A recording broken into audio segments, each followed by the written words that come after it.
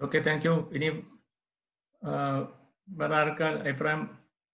നിങ്ങൾക്ക് എല്ലാവർക്കും പറയാം. ഇതിനകത്ത് വേറെ നമ്മൾ മാത്രമേ ഉള്ളൂ. അതുപോലെ പറയുന്നതിനകത്തൊന്നും തോന്നേണ്ട ആവശ്യമില്ല. യെസ് പ്ലീസ് പറയൂ. സാറ് സാർ ഞാൻ ഒരു എന്റെ മോന് എട്ട് വയസ്സായി. എന്റെ മോന്റെ പേര് മെറുവിൻ വരിയോ മാത്യു. എനിക്ക് പിന്നെ അവന് വേണ്ടി അവന് ക്ലാസ് പഠന കാര്യങ്ങളിൽ വളരെ പിന്നോക്കമാണ്. അവൻ എഴുതാനും വായിക്കാനും വളരെ പ്രയാസമാണ്. പിന്നെ അത്യാവശ്യം നമ്മൾ എഴുതിക്കൊക്കെ ചെയ്ത് കഴിഞ്ഞാൽ കൈ പിടിച്ച് കൈ പെട്ടെന്ന് തന്നെ കൈക്ക് മടുപ്പ് വന്നത് പ്രയാസം വരും. പിന്നെ പിന്നെ രണ്ടാം ക്ലാസ്സിലാണ് ഇപ്പൊ പോകുന്നത്. ഓപ്പൺ സ്കൂളിലാണ് പോകുന്നത്. പിന്നെ മറ്റേ മസാജുകൾ പിന്നെ സംസാരിക്കാൻ തിരിയുന്നില്ല. അപ്പൊ അതുകൊണ്ട് മുഖത്ത് മസാജ് ചെയ്യൽ കാര്യങ്ങളൊക്കെ സ്വന്തം ചെയ്ത് കൊടുക്കുന്നുണ്ട്. പിന്നെ അക്ഷരങ്ങൾ തെളിച്ച് പറയിപ്പിക്കാൻ ശ്രമിക്കുന്നുണ്ട്. എന്നാൽ അവന് പ്രയാസമുണ്ട്. അപ്പൊ അവന് മാത്രമല്ല മടി കൂടുതലാണ്. അവന് ടി വി ആണ് മെയിൻ ആയിട്ടുള്ള ആക്ഷൻ. ഫോൺ ഭയങ്കര ഇഷ്ടമാണ്. പക്ഷെ ഫോൺ കൊടുക്കലില്ല. കൊച്ചി ടി വി അങ്ങനെയുള്ള കാര്യങ്ങളാണ്. കാർട്ടൂൺ ബാഹുബലിയൊക്കെയാണ് അവന് മെയിൻ ആയിട്ടുള്ളത്. പിന്നെ കളികളെല്ലാം കാര്യങ്ങളൊക്കെ ചെയ്യും. പിന്നെ അവന് ഒരു പിന്നെ ഞങ്ങൾ ഞാനൊരു ആക്സിഡന്റ് പെട്ട് ഇങ്ങനെ ഇരിക്കുന്നതായതുകൊണ്ട് ഒരു അഞ്ച് വർഷമായിട്ട് വീട്ടിൽ ഒരേ ഇരിപ്പാണ്. അപ്പം എനിക്ക് അവനെ പുറത്ത് കൊണ്ടുപോകാനോ ഒന്നും സാധിക്കുന്നില്ല. അതിന്റെ ഒരു പ്രശ്നമുണ്ട്. അപ്പൊ ഇപ്പൊ ഞങ്ങളൊരു വഴിക്ക് വേറൊരു വഴി പോയിട്ട് ഇരിക്കുന്ന വഴിക്കുന്നാണ് ഞാൻ അറ്റൻഡ് ചെയ്യുന്നത്. അപ്പം ഇവനൊരു തനിയെ മൂത്രം പോകുന്ന ഒരു പ്രശ്നമുണ്ട്. ഇരിക്കുന്നിടത്ത് നിന്ന് പക്ഷെ രാത്രി ഒഴിക്കുന്നുമില്ല. അങ്ങനെ ഒരു ഒരു വ്യത്യാസം കാണുന്നുണ്ട്. രാത്രി കിടക്കുന്ന സമയത്തൊന്നും പ്രശ്നമില്ല. അല്ലാതെ ഇരുന്ന് ടി വി കാണുമ്പോൾ അല്ലെങ്കിൽ വർത്തമാനം പറയുക എവിടെയും പോവുക ചെയ്യുമ്പോൾ പിന്നെ വാൻസിനകത്ത് അല്ലെങ്കിൽ നിക്കറിനകത്തൊക്കെ മൂത്രം ഇങ്ങനെ പോയിക്കൊണ്ടേയിരിക്കുന്നു. പിന്നെ കൃമിയുടെ ശല്യമുണ്ട്. അതിന് സ്ഥിരമായിട്ട് മരുന്നുകൾ തന്നെ കൊടുക്കുന്നുണ്ട്. പക്ഷെ വിട്ടു പോകുന്നില്ല. ഇതൊക്കെയാണ് അവന്റെ മെയിൻ ആയിട്ടുള്ള പ്രശ്നങ്ങൾ. അവന് സംസാരം തിരിയുന്നില്ല. എഴുത്തും വായന പ്രശ്നമുണ്ട്. സി ഡി എം ആർ പിന്നെ ഈ തെറാപ്പികളൊക്കെ ഓൾറെഡി കിട്ടുന്നുണ്ടായിരുന്നു. അതൊക്കെ ചെയ്യുന്നുമുണ്ട്. ഫസ്റ്റിലെയാണ് ഞാൻ ചെയ്യുന്നത്. സ്ഥലം എവിടെയാ? സ്ഥലം കണ്ണൂർ കണ്ണൂർ ജില്ലയിലെ ചെമ്പേരി എന്ന് പറഞ്ഞ സ്ഥലത്താണ് ചെമ്പേരി പൂപ്പറമ്പ്. ഞാൻ ഫസ്റ്റിലാണ് അറ്റൻഡ് ചെയ്യുന്ന ക്ലാസ് ആ ശരി ഓക്കെ. വേറെ ആർക്കെങ്കിലും ക്ലാസ്സുകളെ പറ്റിയോ? അല്ലെങ്കിൽ ഇതുപോലെ അഭിപ്രായങ്ങൾ എന്തെങ്കിലും പറയണമെങ്കിൽ പറയാം. ഇതിനെല്ലാം ഉത്തരം ഞാൻ ഒന്നിച്ച് പറയാം. സർ എന്തുവാണ്? ഹലോ. എന്തുവാണ്? എന്റെ മോളുടെ പേര് നേവ എന്നാണ് ഇപ്പൊ സെവൻ ഇയേഴ്സ് ആയി. ഇപ്പൊ നേരത്തെ സിബിൻ സിബിൻ എന്ന് പറഞ്ഞൊരു സാറ് സംസാരിച്ചിരുന്നു. ടു ഇയേഴ്സ് ഉള്ള ഒരു കുട്ടിക്ക് സ്പീച്ച് കൊടുത്തതിനെ പറ്റിട്ട് പറഞ്ഞിട്ടുണ്ടായിരുന്നു.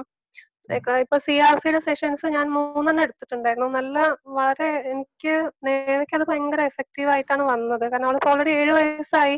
അപ്പൊ കാര്യങ്ങൾ പറഞ്ഞാൽ മനസ്സിലാവുന്നുണ്ട്. അപ്പൊ നല്ല പിന്നെ സി ആർ സി എന്ന് വളരെ പ്രൊഫഷണൽ ആയിട്ടുള്ള ഒരു അപ്രോച്ച് ആണ് കിട്ടുന്നത്. വേറെ എവിടെ നിന്നും കിട്ടാത്ത ഒരുപാട് ഇൻഫർമേഷൻസ് അവർക്ക് അവിടുന്ന് നമുക്ക് കിട്ടുന്നുണ്ട്. പിന്നെ കംപ്ലീറ്റ്ലി ഫ്രീ ആണ്. വളരെ പങ്ക്ച്വൽ ആണ് അവർ പറഞ്ഞ സമയത്ത് തന്നെ സ്റ്റാർട്ട് ചെയ്യാറുണ്ട്. അപ്പൊ ഇവിടെ ആദ്യമായിട്ട് ദോസ്തിന്റെ റോഷൻ സാറുടെ സി ആർ സി ഡയറക്ടർ ആയിട്ടുള്ള റോഷൻ ബിജ്ലി അദ്ദേഹത്തിന്റെ ഒരു ക്ലാസ് നിന്നാണ് നമുക്ക് ഇതിനെ പറ്റി ഒരു ഐഡിയ ഉണ്ടായത്. അപ്പൊ ലോക്ക്ഡൌണിന്റെ ടൈമിൽ ഇങ്ങനത്തെ കുറെ സെഷൻസ് കിട്ടുന്നത് വളരെ യൂസ്ഫുൾ ആയിരുന്നു. അപ്പൊ നമുക്ക് ആ- ആലോചിച്ച് പറയുമ്പോൾ ഇപ്പൊ ടു ഇയേഴ്സ് ആയിട്ടുള്ള കുട്ടിയൊക്കെ ആകുമ്പോൾ കുറെ പ്രാക്ടിക്കൽ ഡിഫിക്കൽട്ടീസ് ഉണ്ടാവും. അപ്പൊ അത് പാരന്റ്സിനുള്ള അവയർനെസ് ആയിട്ട് എടുക്കാവുന്നതാണ്. ഇപ്പൊ നമ്മളൊരു തെറാപ്പിസ്റ്റിന്റെ ഭാഗത്തോടെ നമ്മൾ ആലോചിക്കണം. അവർക്കും കുറച്ച് പ്രാക്ടിക്കൽ ഡിഫിക്കൽട്ടീസ് ഉണ്ടാവും. ചെറിയ കുട്ടികളാകുമ്പോൾ നമുക്ക് അവരെ ഇരുത്താനും പക്ഷെ അതെന്തായാലും ഒരു ഫൈവ് ഇയേഴ്സ് മുകളിലെ കുട്ടികൾക്ക് നല്ല യൂസ്ഫുൾ ആയിരിക്കും. ഞാൻ വേറെ ഒന്ന് രണ്ട് പേർക്ക് അത് റെഫർ ചെയ്തിട്ടുണ്ടായിരുന്നു. അപ്പൊ അത് നല്ല യൂസ്ഫുൾ ആയിട്ടാണ് വന്നത്.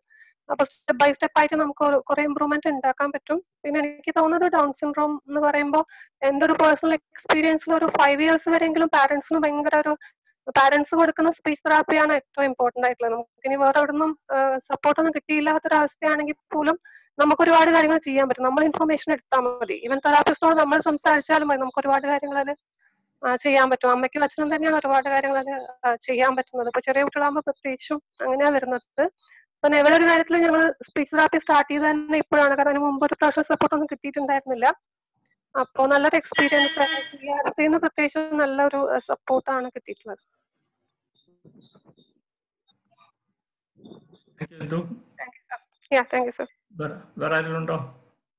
സാറേ മോന് പതിനഞ്ച് വയസ്സായി. ആ.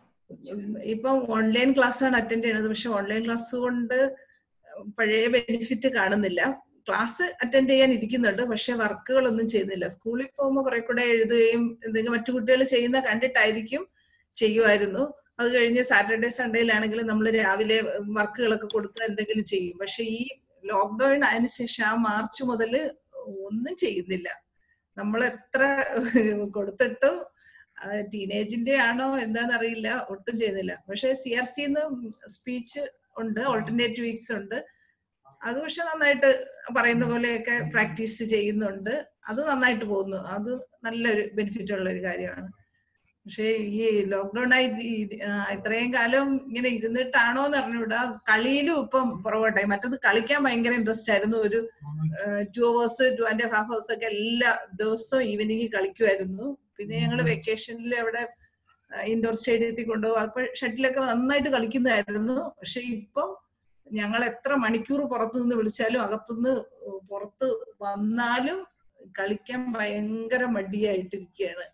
ഞങ്ങൾ പുറത്ത് കളിക്കുക അവൻ പെട്ടെന്ന് പെട്ടെന്ന് അകത്തേക്ക് കയറി പോകാൻ നോക്കുക. കഥക് പൂട്ടി ഞങ്ങൾ ലോക്ക് ചെയ്ത് താക്കോലും പുറത്ത് വെച്ചിട്ടാണ് ഞങ്ങൾ നിൽക്കുക. എന്നാലും പക്ഷെ കളി അവന് കളിയും പുറകോട്ടായി എപ്പോഴും ഉറക്കം വരുന്നു ഉറക്കം വരുന്നു എനിക്ക് ഉറക്കം വരുന്നു എനിക്ക് ഉറക്കം വരുന്നു എന്ന് പറഞ്ഞുകൊണ്ടിരിക്കുക. സാറേ അതിന് അവന്റെ പ്രശ്നമാണ്. പോയിന്റ്സ് ഒക്കെ നോട്ട് ചെയ്തിട്ടുണ്ട്. അവസാനം ഒന്ന് പറയാന്ന് വെച്ചിട്ടാണ് വേറെ ആർക്കെങ്കിലും എന്തെങ്കിലും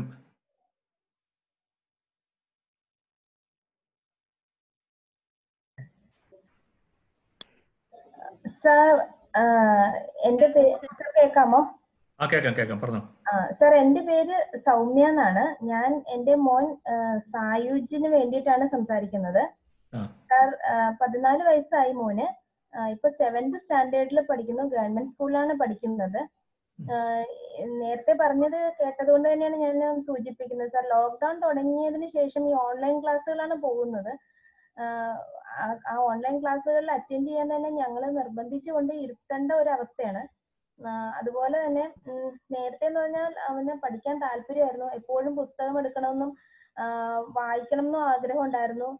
വെറുതെ എങ്കിലും ടെക്സ്റ്റ് ബുക്കിൽ നോക്കിയുള്ള കാര്യങ്ങൾ പകർത്തി എഴുതുന്നതും ഒക്കെ ഇഷ്ടമായിരുന്നു. അതുപോലെ തന്നെ വായിക്കാൻ ഭയങ്കര താല്പര്യമുള്ള വ്യക്തിയാണ് നമ്മളെ വിളിച്ച് കൂടെ വായിച്ചു തരൂ എന്നൊക്കെ പറഞ്ഞുകൊണ്ടിരുന്ന ആളാണ്. പക്ഷെ ഇപ്പോ ഭയങ്കര മടി കാണിക്കുന്നു സാർ.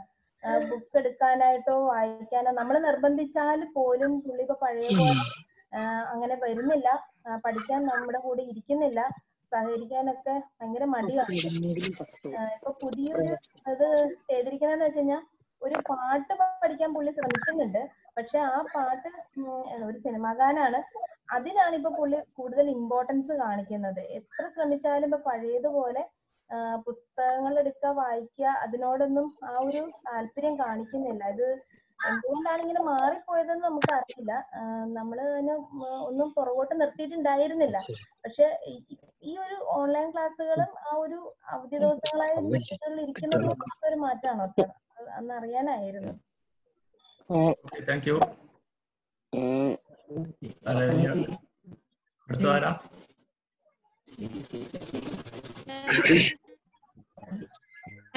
ഉണ്ടോ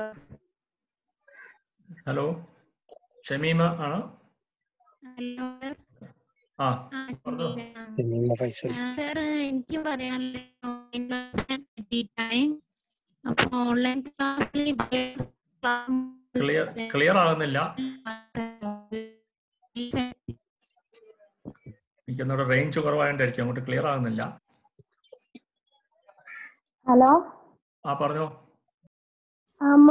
ആ ഓൺലൈൻ ക്ലാസ്സിനെ കുറിച്ച് തന്നെയാണ് എനിക്കും പറയാനുള്ളത്. ഓൺലൈൻ ക്ലാസ് ബി ആർ സിന്റെ ക്ലാസ്സുകൾ നല്ല ക്ലാസ് ആണ്. അടിപൊളി ക്ലാസ് ആണ്. അത് നമ്മളെ മക്കൾക്ക് ക്ലാസ് ചെയ്യാൻ പറ്റുന്നുണ്ട്. പക്ഷെ സാധാരണ സ്കൂളിന്റെ ഐ ടീച്ചർ ചാനലിൽ വരുന്ന ഓൺലൈൻ ക്ലാസ്സുകൾ. മോൾക്ക് തീരെ പറ്റില്ല. അത് ഭയങ്കര സ്പീഡിൽ പെട്ടെന്ന് പെട്ടെന്ന് എടുത്തു പോണതിനെ കൊണ്ട് ആദ്യത്തിലൊക്കെ ഒന്ന് കാണാന്നല്ലാതെ പിന്നെ ഇപ്പൊ അത് കാണാനേ നിൽക്കുന്നില്ല അത് അവർക്ക് മനസ്സിലാവണില്ല. പെട്ടെന്ന് പെട്ടെന്ന് എടുത്തു പോകുന്ന ഒരു പ്രയാസം കൊണ്ട് പിന്നെ സ്കൂളിൽ പോയിട്ട് മറ്റു കുട്ടികളെ കൂടെ കൂ- ചേർന്ന് പഠിക്കണതിന്റെ ആ ഒരു ഇതൊന്നും ഇവർക്ക് വീട്ടിലിരുന്നിട്ട് കിട്ടുന്നില്ല. പക്ഷെ സ്കൂളിൽ പോകുന്നില്ല എന്നുള്ളത് കൊണ്ട് മോൾക്കൊരു പ്രശ്നമില്ല വീട്ടിലിരിക്കുകയാണെങ്കിലും മോൾ നല്ല ഹാപ്പി ആയിട്ട് തന്നെയാണ് ഇരിക്കുന്നത്.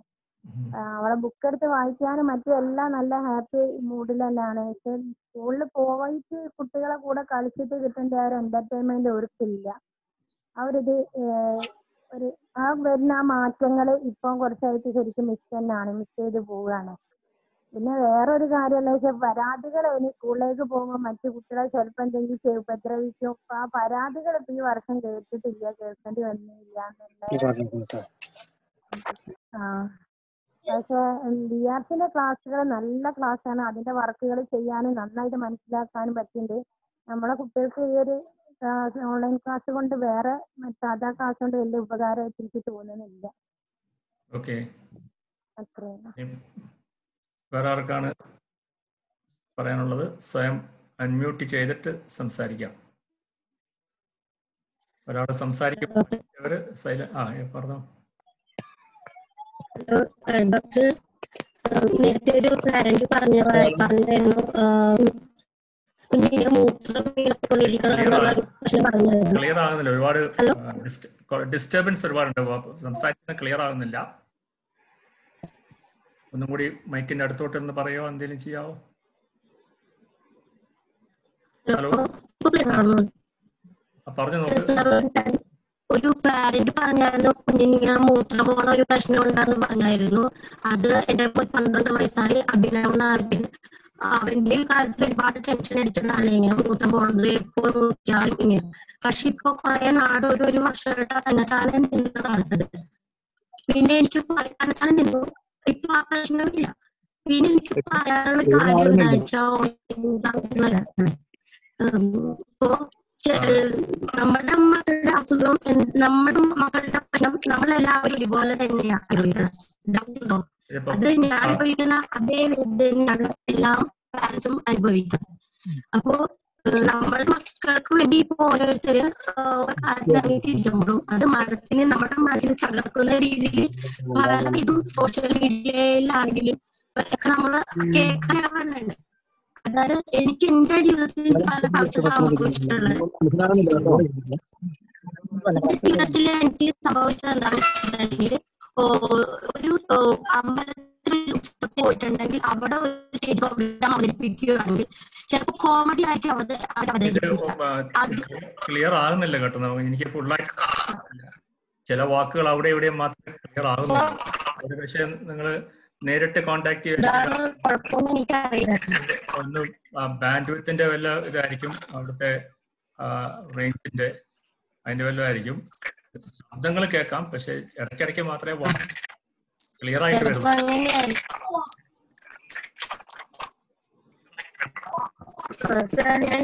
ഞാൻ വെച്ചാൽ ഇപ്പൊ നമ്മൾ എന്റെ മോന്റെ അതേ പ്രശ്നമുള്ള ഒരുപാട് അച്ഛനമ്മമാരും അവർ ഇത് അനുഭവിക്കുന്നുണ്ട് ഡൗൺ എന്നുള്ള ഒരു പ്രശ്നത്തിൽ.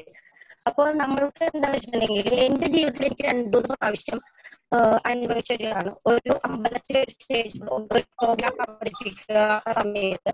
അതിൽ അവർ പറയുന്നത് അമ്പത് പേര് കാണാനിട്ടുണ്ടെങ്കിലും എല്ലാവരും പൊട്ടിച്ചിരിക്കുന്നു ആ കോമഡി അത് അവിടെ അവതരിക്കുന്നത് എടാ നീ ഒരു മന്ദബുദ്ധിയല്ലേ മന്ദബുദ്ധിയെ പോലെ പെരുമാറുന്നുണ്ട് പക്ഷെ അമ്പത് പേരുടെ നാൽപ്പത്തെട്ട് പേർക്കും ചിരിക്കാനാവും. പക്ഷെ ആ കൂട്ടത്തിൽ ആ കുഞ്ഞുങ്ങളുടെ അമ്മയും അച്ഛനുമായ നമുക്കത്.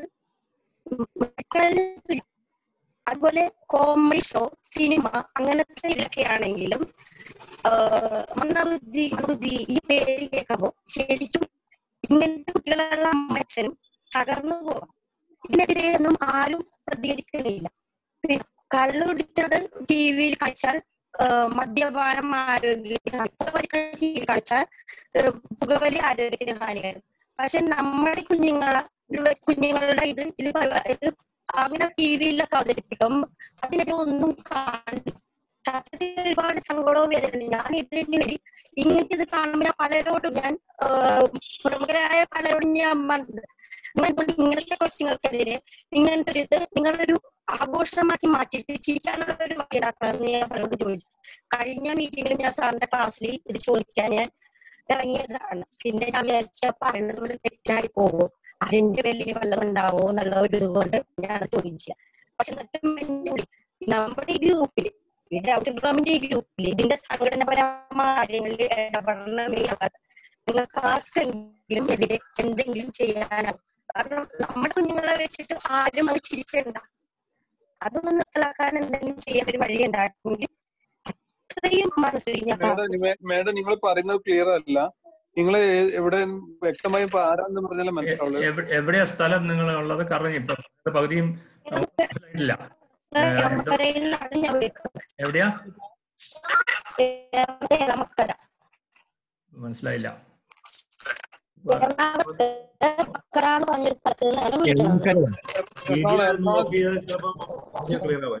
വീഡിയോ എറണാകുളമാണോ എറണാകുളം കല്ലൂര്. മനസ്സിലായി. എറണാകുളത്ത് എറണാകുളം ഡിസ്ട്രിക്ട് അല്ലേ? അപ്പൊ നിങ്ങൾ ഒരു ഫോണിൽ വിളിച്ച് പറഞ്ഞാൽ മതി. ഡീറ്റെയിൽ ഇപ്പൊ ഫോൺ തീരെ ക്ലിയർ അല്ല നിങ്ങൾ വോയിസ് ക്ലിയർ അല്ല വീഡിയോ ഒന്ന് വീഡിയോ ഒന്ന് ഓഫ് ചെയ്തിട്ട് ചിലപ്പം നെറ്റ് അതുകൊണ്ട് ചിലപ്പോ ആ വേണേ വീഡിയോ ഓഫ് ആക്കിയിട്ട് സംസാരിച്ചാൽ ചിലപ്പോൾ കുറച്ചുകൂടി ക്ലിയർ ക്ലാരിറ്റി ഉണ്ടാവും വീഡിയോ ഓഫ് ആയിട്ട് സം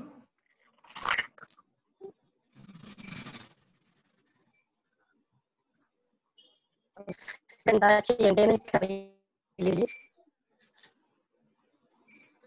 എന്നാ പിന്നെ നേരിട്ട് കോൺടാക്ട് ചെയ്ത് മാസ്റ്റർകാരിലോ ഒന്ന് നേരിട്ട് കോൺടാക്ട് ചെയ്യുക അല്ലെങ്കിൽ നിങ്ങൾ നിങ്ങൾ പറയുന്ന കുറെ കാര്യം മനസ്സിലായി. നിങ്ങൾ നേരിലൊന്ന് പറയും. സാർ പറഞ്ഞ ഇപ്പൊ മീറ്റിംഗിൽ അങ്ങനെ പറഞ്ഞിട്ട് കാര്യമില്ല. ഒരുപാട് നമ്മൾ നിങ്ങൾ പൊതുസമൂഹത്തിന്റെ ഇടയിൽ ഉണ്ടാവുന്ന പ്രശ്നങ്ങളാണ് നിങ്ങൾ പറയുന്നത് നിങ്ങൾക്ക് മനസ്സിലാവും തോന്നുന്നത്. അതുകൊണ്ട് അത് മാറ്റിയെടുക്കേണ്ടത് നമ്മൾ ഒരു ബാധ്യത ഉണ്ട്. പക്ഷെ നിങ്ങൾ ക്ലിയർ ആക്കി പറഞ്ഞാൽ നമുക്ക് മനസ്സിലാക്കാം കേട്ടോ. ഫോണിൽ പറഞ്ഞാൽ മതി. ഓക്കെ? ഓക്കെ വേറെ ആർക്കാണ്? അങ്ങോട്ട്. സംസാരിക്കണമെങ്കിൽ അൺമ്യൂട്ട് ചെയ്തിട്ട് സംസാരിക്കാം.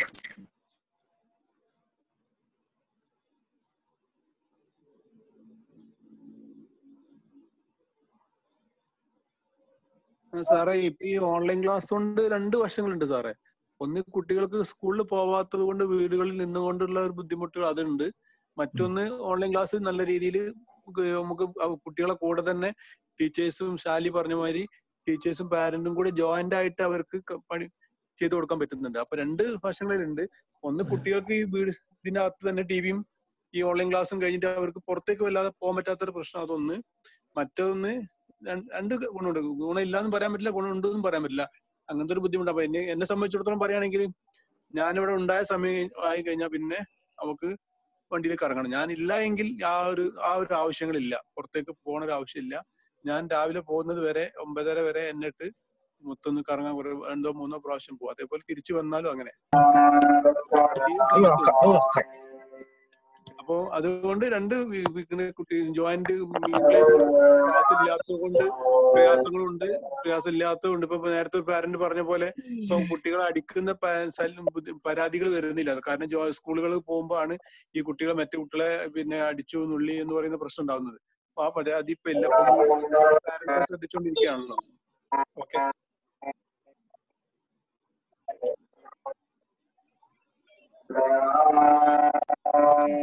ഇവിടെ ഒരു റെഡ്മി എന്നും പറഞ്ഞൊരു ഒരു ഫോൺ ഉണ്ട് പേരില്ല അത് അവിടെ ഭയങ്കര ഒച്ചയാ കേൾക്കുന്നത്. നിങ്ങൾക്ക് സംസാരിക്കാനാണെങ്കിൽ സംസാരിക്കാം. അത് കഴിയുമ്പം മ്യൂട്ട് ചെയ്യാം. ഹലോ ഷാജിൻ ഡോക്ടർ കേൾക്കുന്നുണ്ടോ ആ കേൾക്കുന്നുണ്ട് എന്റെ മോന് പതിനേഴ് വയസ്സായി.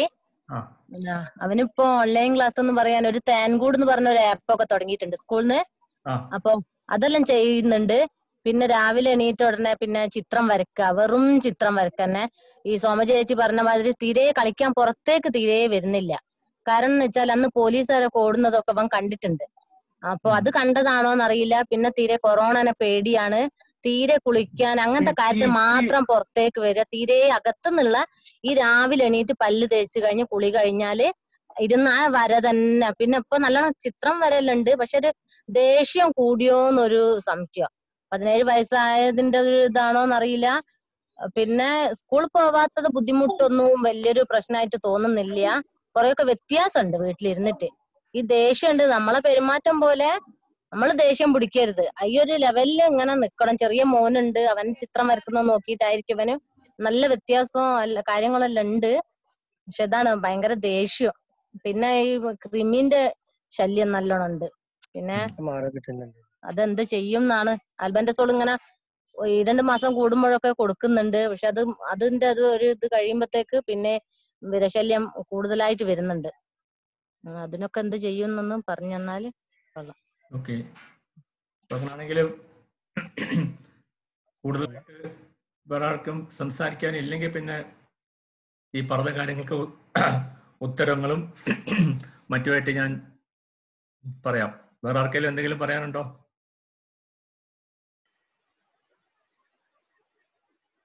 ശരി എന്നാലിപ്പം ആ, രണ്ടുപേര് കൃമിയെ പറ്റിയാണ് കാര്യമായിട്ട് പറഞ്ഞത്. കൃമി സാധാരണ കുട്ടികൾക്ക് തന്നെ ചിലപ്പോൾ വളരെ കൂടുതലായിട്ട് കണ്ടുവരാവുന്ന ഒരു കാര്യമാണ്. നമ്മൾ ആൽബൻഡസോൾ എന്നുള്ളതാണ് നമ്മൾ പോപ്പുലറായിട്ട് കൊടുക്കുന്നത്. രണ്ട് വയസ്സിന് മേലെയുള്ളവർക്ക് പത്ത് എം എൽ രണ്ട് പ്രാവശ്യമായിട്ട് കൊടുക്കാം. ഒരു ഏഴെട്ട് ദിവസം ഏഴ് പത്ത് ദിവസം കഴിഞ്ഞിട്ട് ഒന്നും കൂടി കൊടുക്കാം. രണ്ട് പ്രാവശ്യമായിട്ട് ഡീവോമിങ് ചെയ്യാവുന്നതാണ്. പിന്നെ വളരെ ഫ്രീക്വന്റ് ആയിട്ട് പിന്നെയും പിന്നെ വരുന്നവർക്ക് നമ്മൾ നോക്കാനുള്ള കാര്യങ്ങൾ ഇത് മരുന്ന് കൊടുത്ത് പോകുന്നുണ്ടാവും പിന്നെ വരമുട്ടകൾ പൊട്ടി ചെല്ലുന്നുണ്ടാവും. അതുകൊണ്ടാണ് വീണ്ടും വീണ്ടും വരുന്നത്. അപ്പൊ അത് നമ്മൾ കട്ട് ചെയ്യണമെങ്കിൽ ഉള്ള കാര്യങ്ങളാണ് പിന്നീട് നോക്കുന്നത്. ഒന്ന് ചെയ്യാനുള്ളത് ഈ കൃമി മലദ്വാരത്തിന് ചുറ്റും വന്ന് മുട്ടയിടാൻ വെക്കുമ്പം ചൊറിച്ചിലെടുക്കും. അപ്പൊ പിള്ളേര് രാത്രി കിടന്ന് ചൊറിയും. ചൊറിയുമ്പോൾ നഖത്തിന്റെ ഇടയിൽ ഈ മുട്ട കയറും. നഖം ഇല്ലെങ്കിൽ തന്നെ ആ ഒരു ഗ്യാപ്പിനിടയിൽ നമ്മൾ മൈക്രോസ്കോപ്പ് കൂടെ മാത്രം കാണാവുന്ന മുട്ടയാണ്. നേരിട്ട് കാണാൻ ബുദ്ധിമുട്ടായിരിക്കും.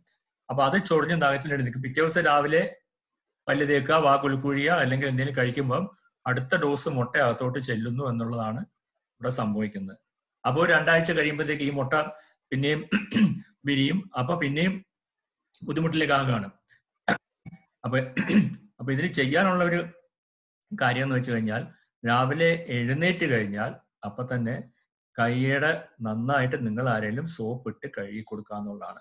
വേണമെങ്കിൽ ഒരു ചെറിയ പല്ല് തേക്കുന്ന ബ്രഷ് വെച്ചിട്ട് കൈ ഒന്ന് വലിച്ചു കൊടുക്കുന്നതുകൊണ്ട് കുഴപ്പമില്ല. അപ്പം ആദ്യം അത് ചെയ്തിട്ട് വേറെ എന്തെങ്കിലും ചെയ്യാവുന്നതാണ് പിന്നെ നേരിട്ട് ചൊറിയത്തക്കവണ്ണമുള്ള ഒരു അവസ്ഥ അതായത് കുറച്ച് എലാസ്റ്റിക്കോ വല്ല വെച്ചിട്ടുള്ള ഒരു നിക്കറോ എന്തെങ്കിലും ഇട്ട് കഴിഞ്ഞാൽ ചൊറിയുന്നത് തന്നെ അതിന്റെ പുറത്തോടാണെങ്കിൽ അത്രയും പ്രശ്നമില്ല. നേരിട്ട് ചൊറിയുമ്പോഴാണ് ഇതിന്റെ പ്രയാസം വരുന്നത്.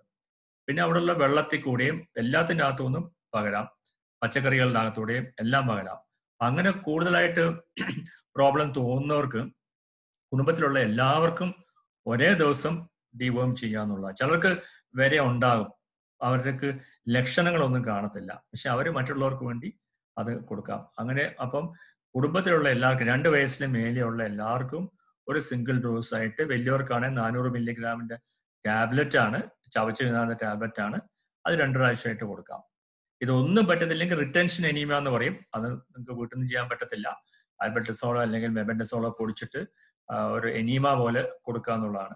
അപ്പൊ ആദ്യമായിട്ട് നമ്മൾ നോക്കേണ്ടത് കറക്റ്റ് ആയിട്ട് കൊടുക്കുക എന്നുള്ളതാണ്. പിന്നെ ചൊറിയാനുള്ള ഒരു അവസ്ഥ അവസ്ഥ മാറ്റി കൊടുക്കുക. പിന്നെ വീട്ടിലുള്ള എല്ലാവർക്കും ഒന്നിച്ച് ഡിവോം ചെയ്യുക എന്നുള്ളതാണ് അതിനകത്ത് ഒരു കാര്യമായിട്ടുള്ളത്. പിന്നെ പറഞ്ഞ ഒരു കാര്യം കളിക്കുന്നില്ല എന്നുള്ളൊരു അവസ്ഥയാണ് അവിടെയും രണ്ടു മൂന്ന് പേര് എടുത്തു പറഞ്ഞത്. ഒറ്റയ്ക്ക് കളിക്കാനൊരു പ്രയാസമായിരിക്കും.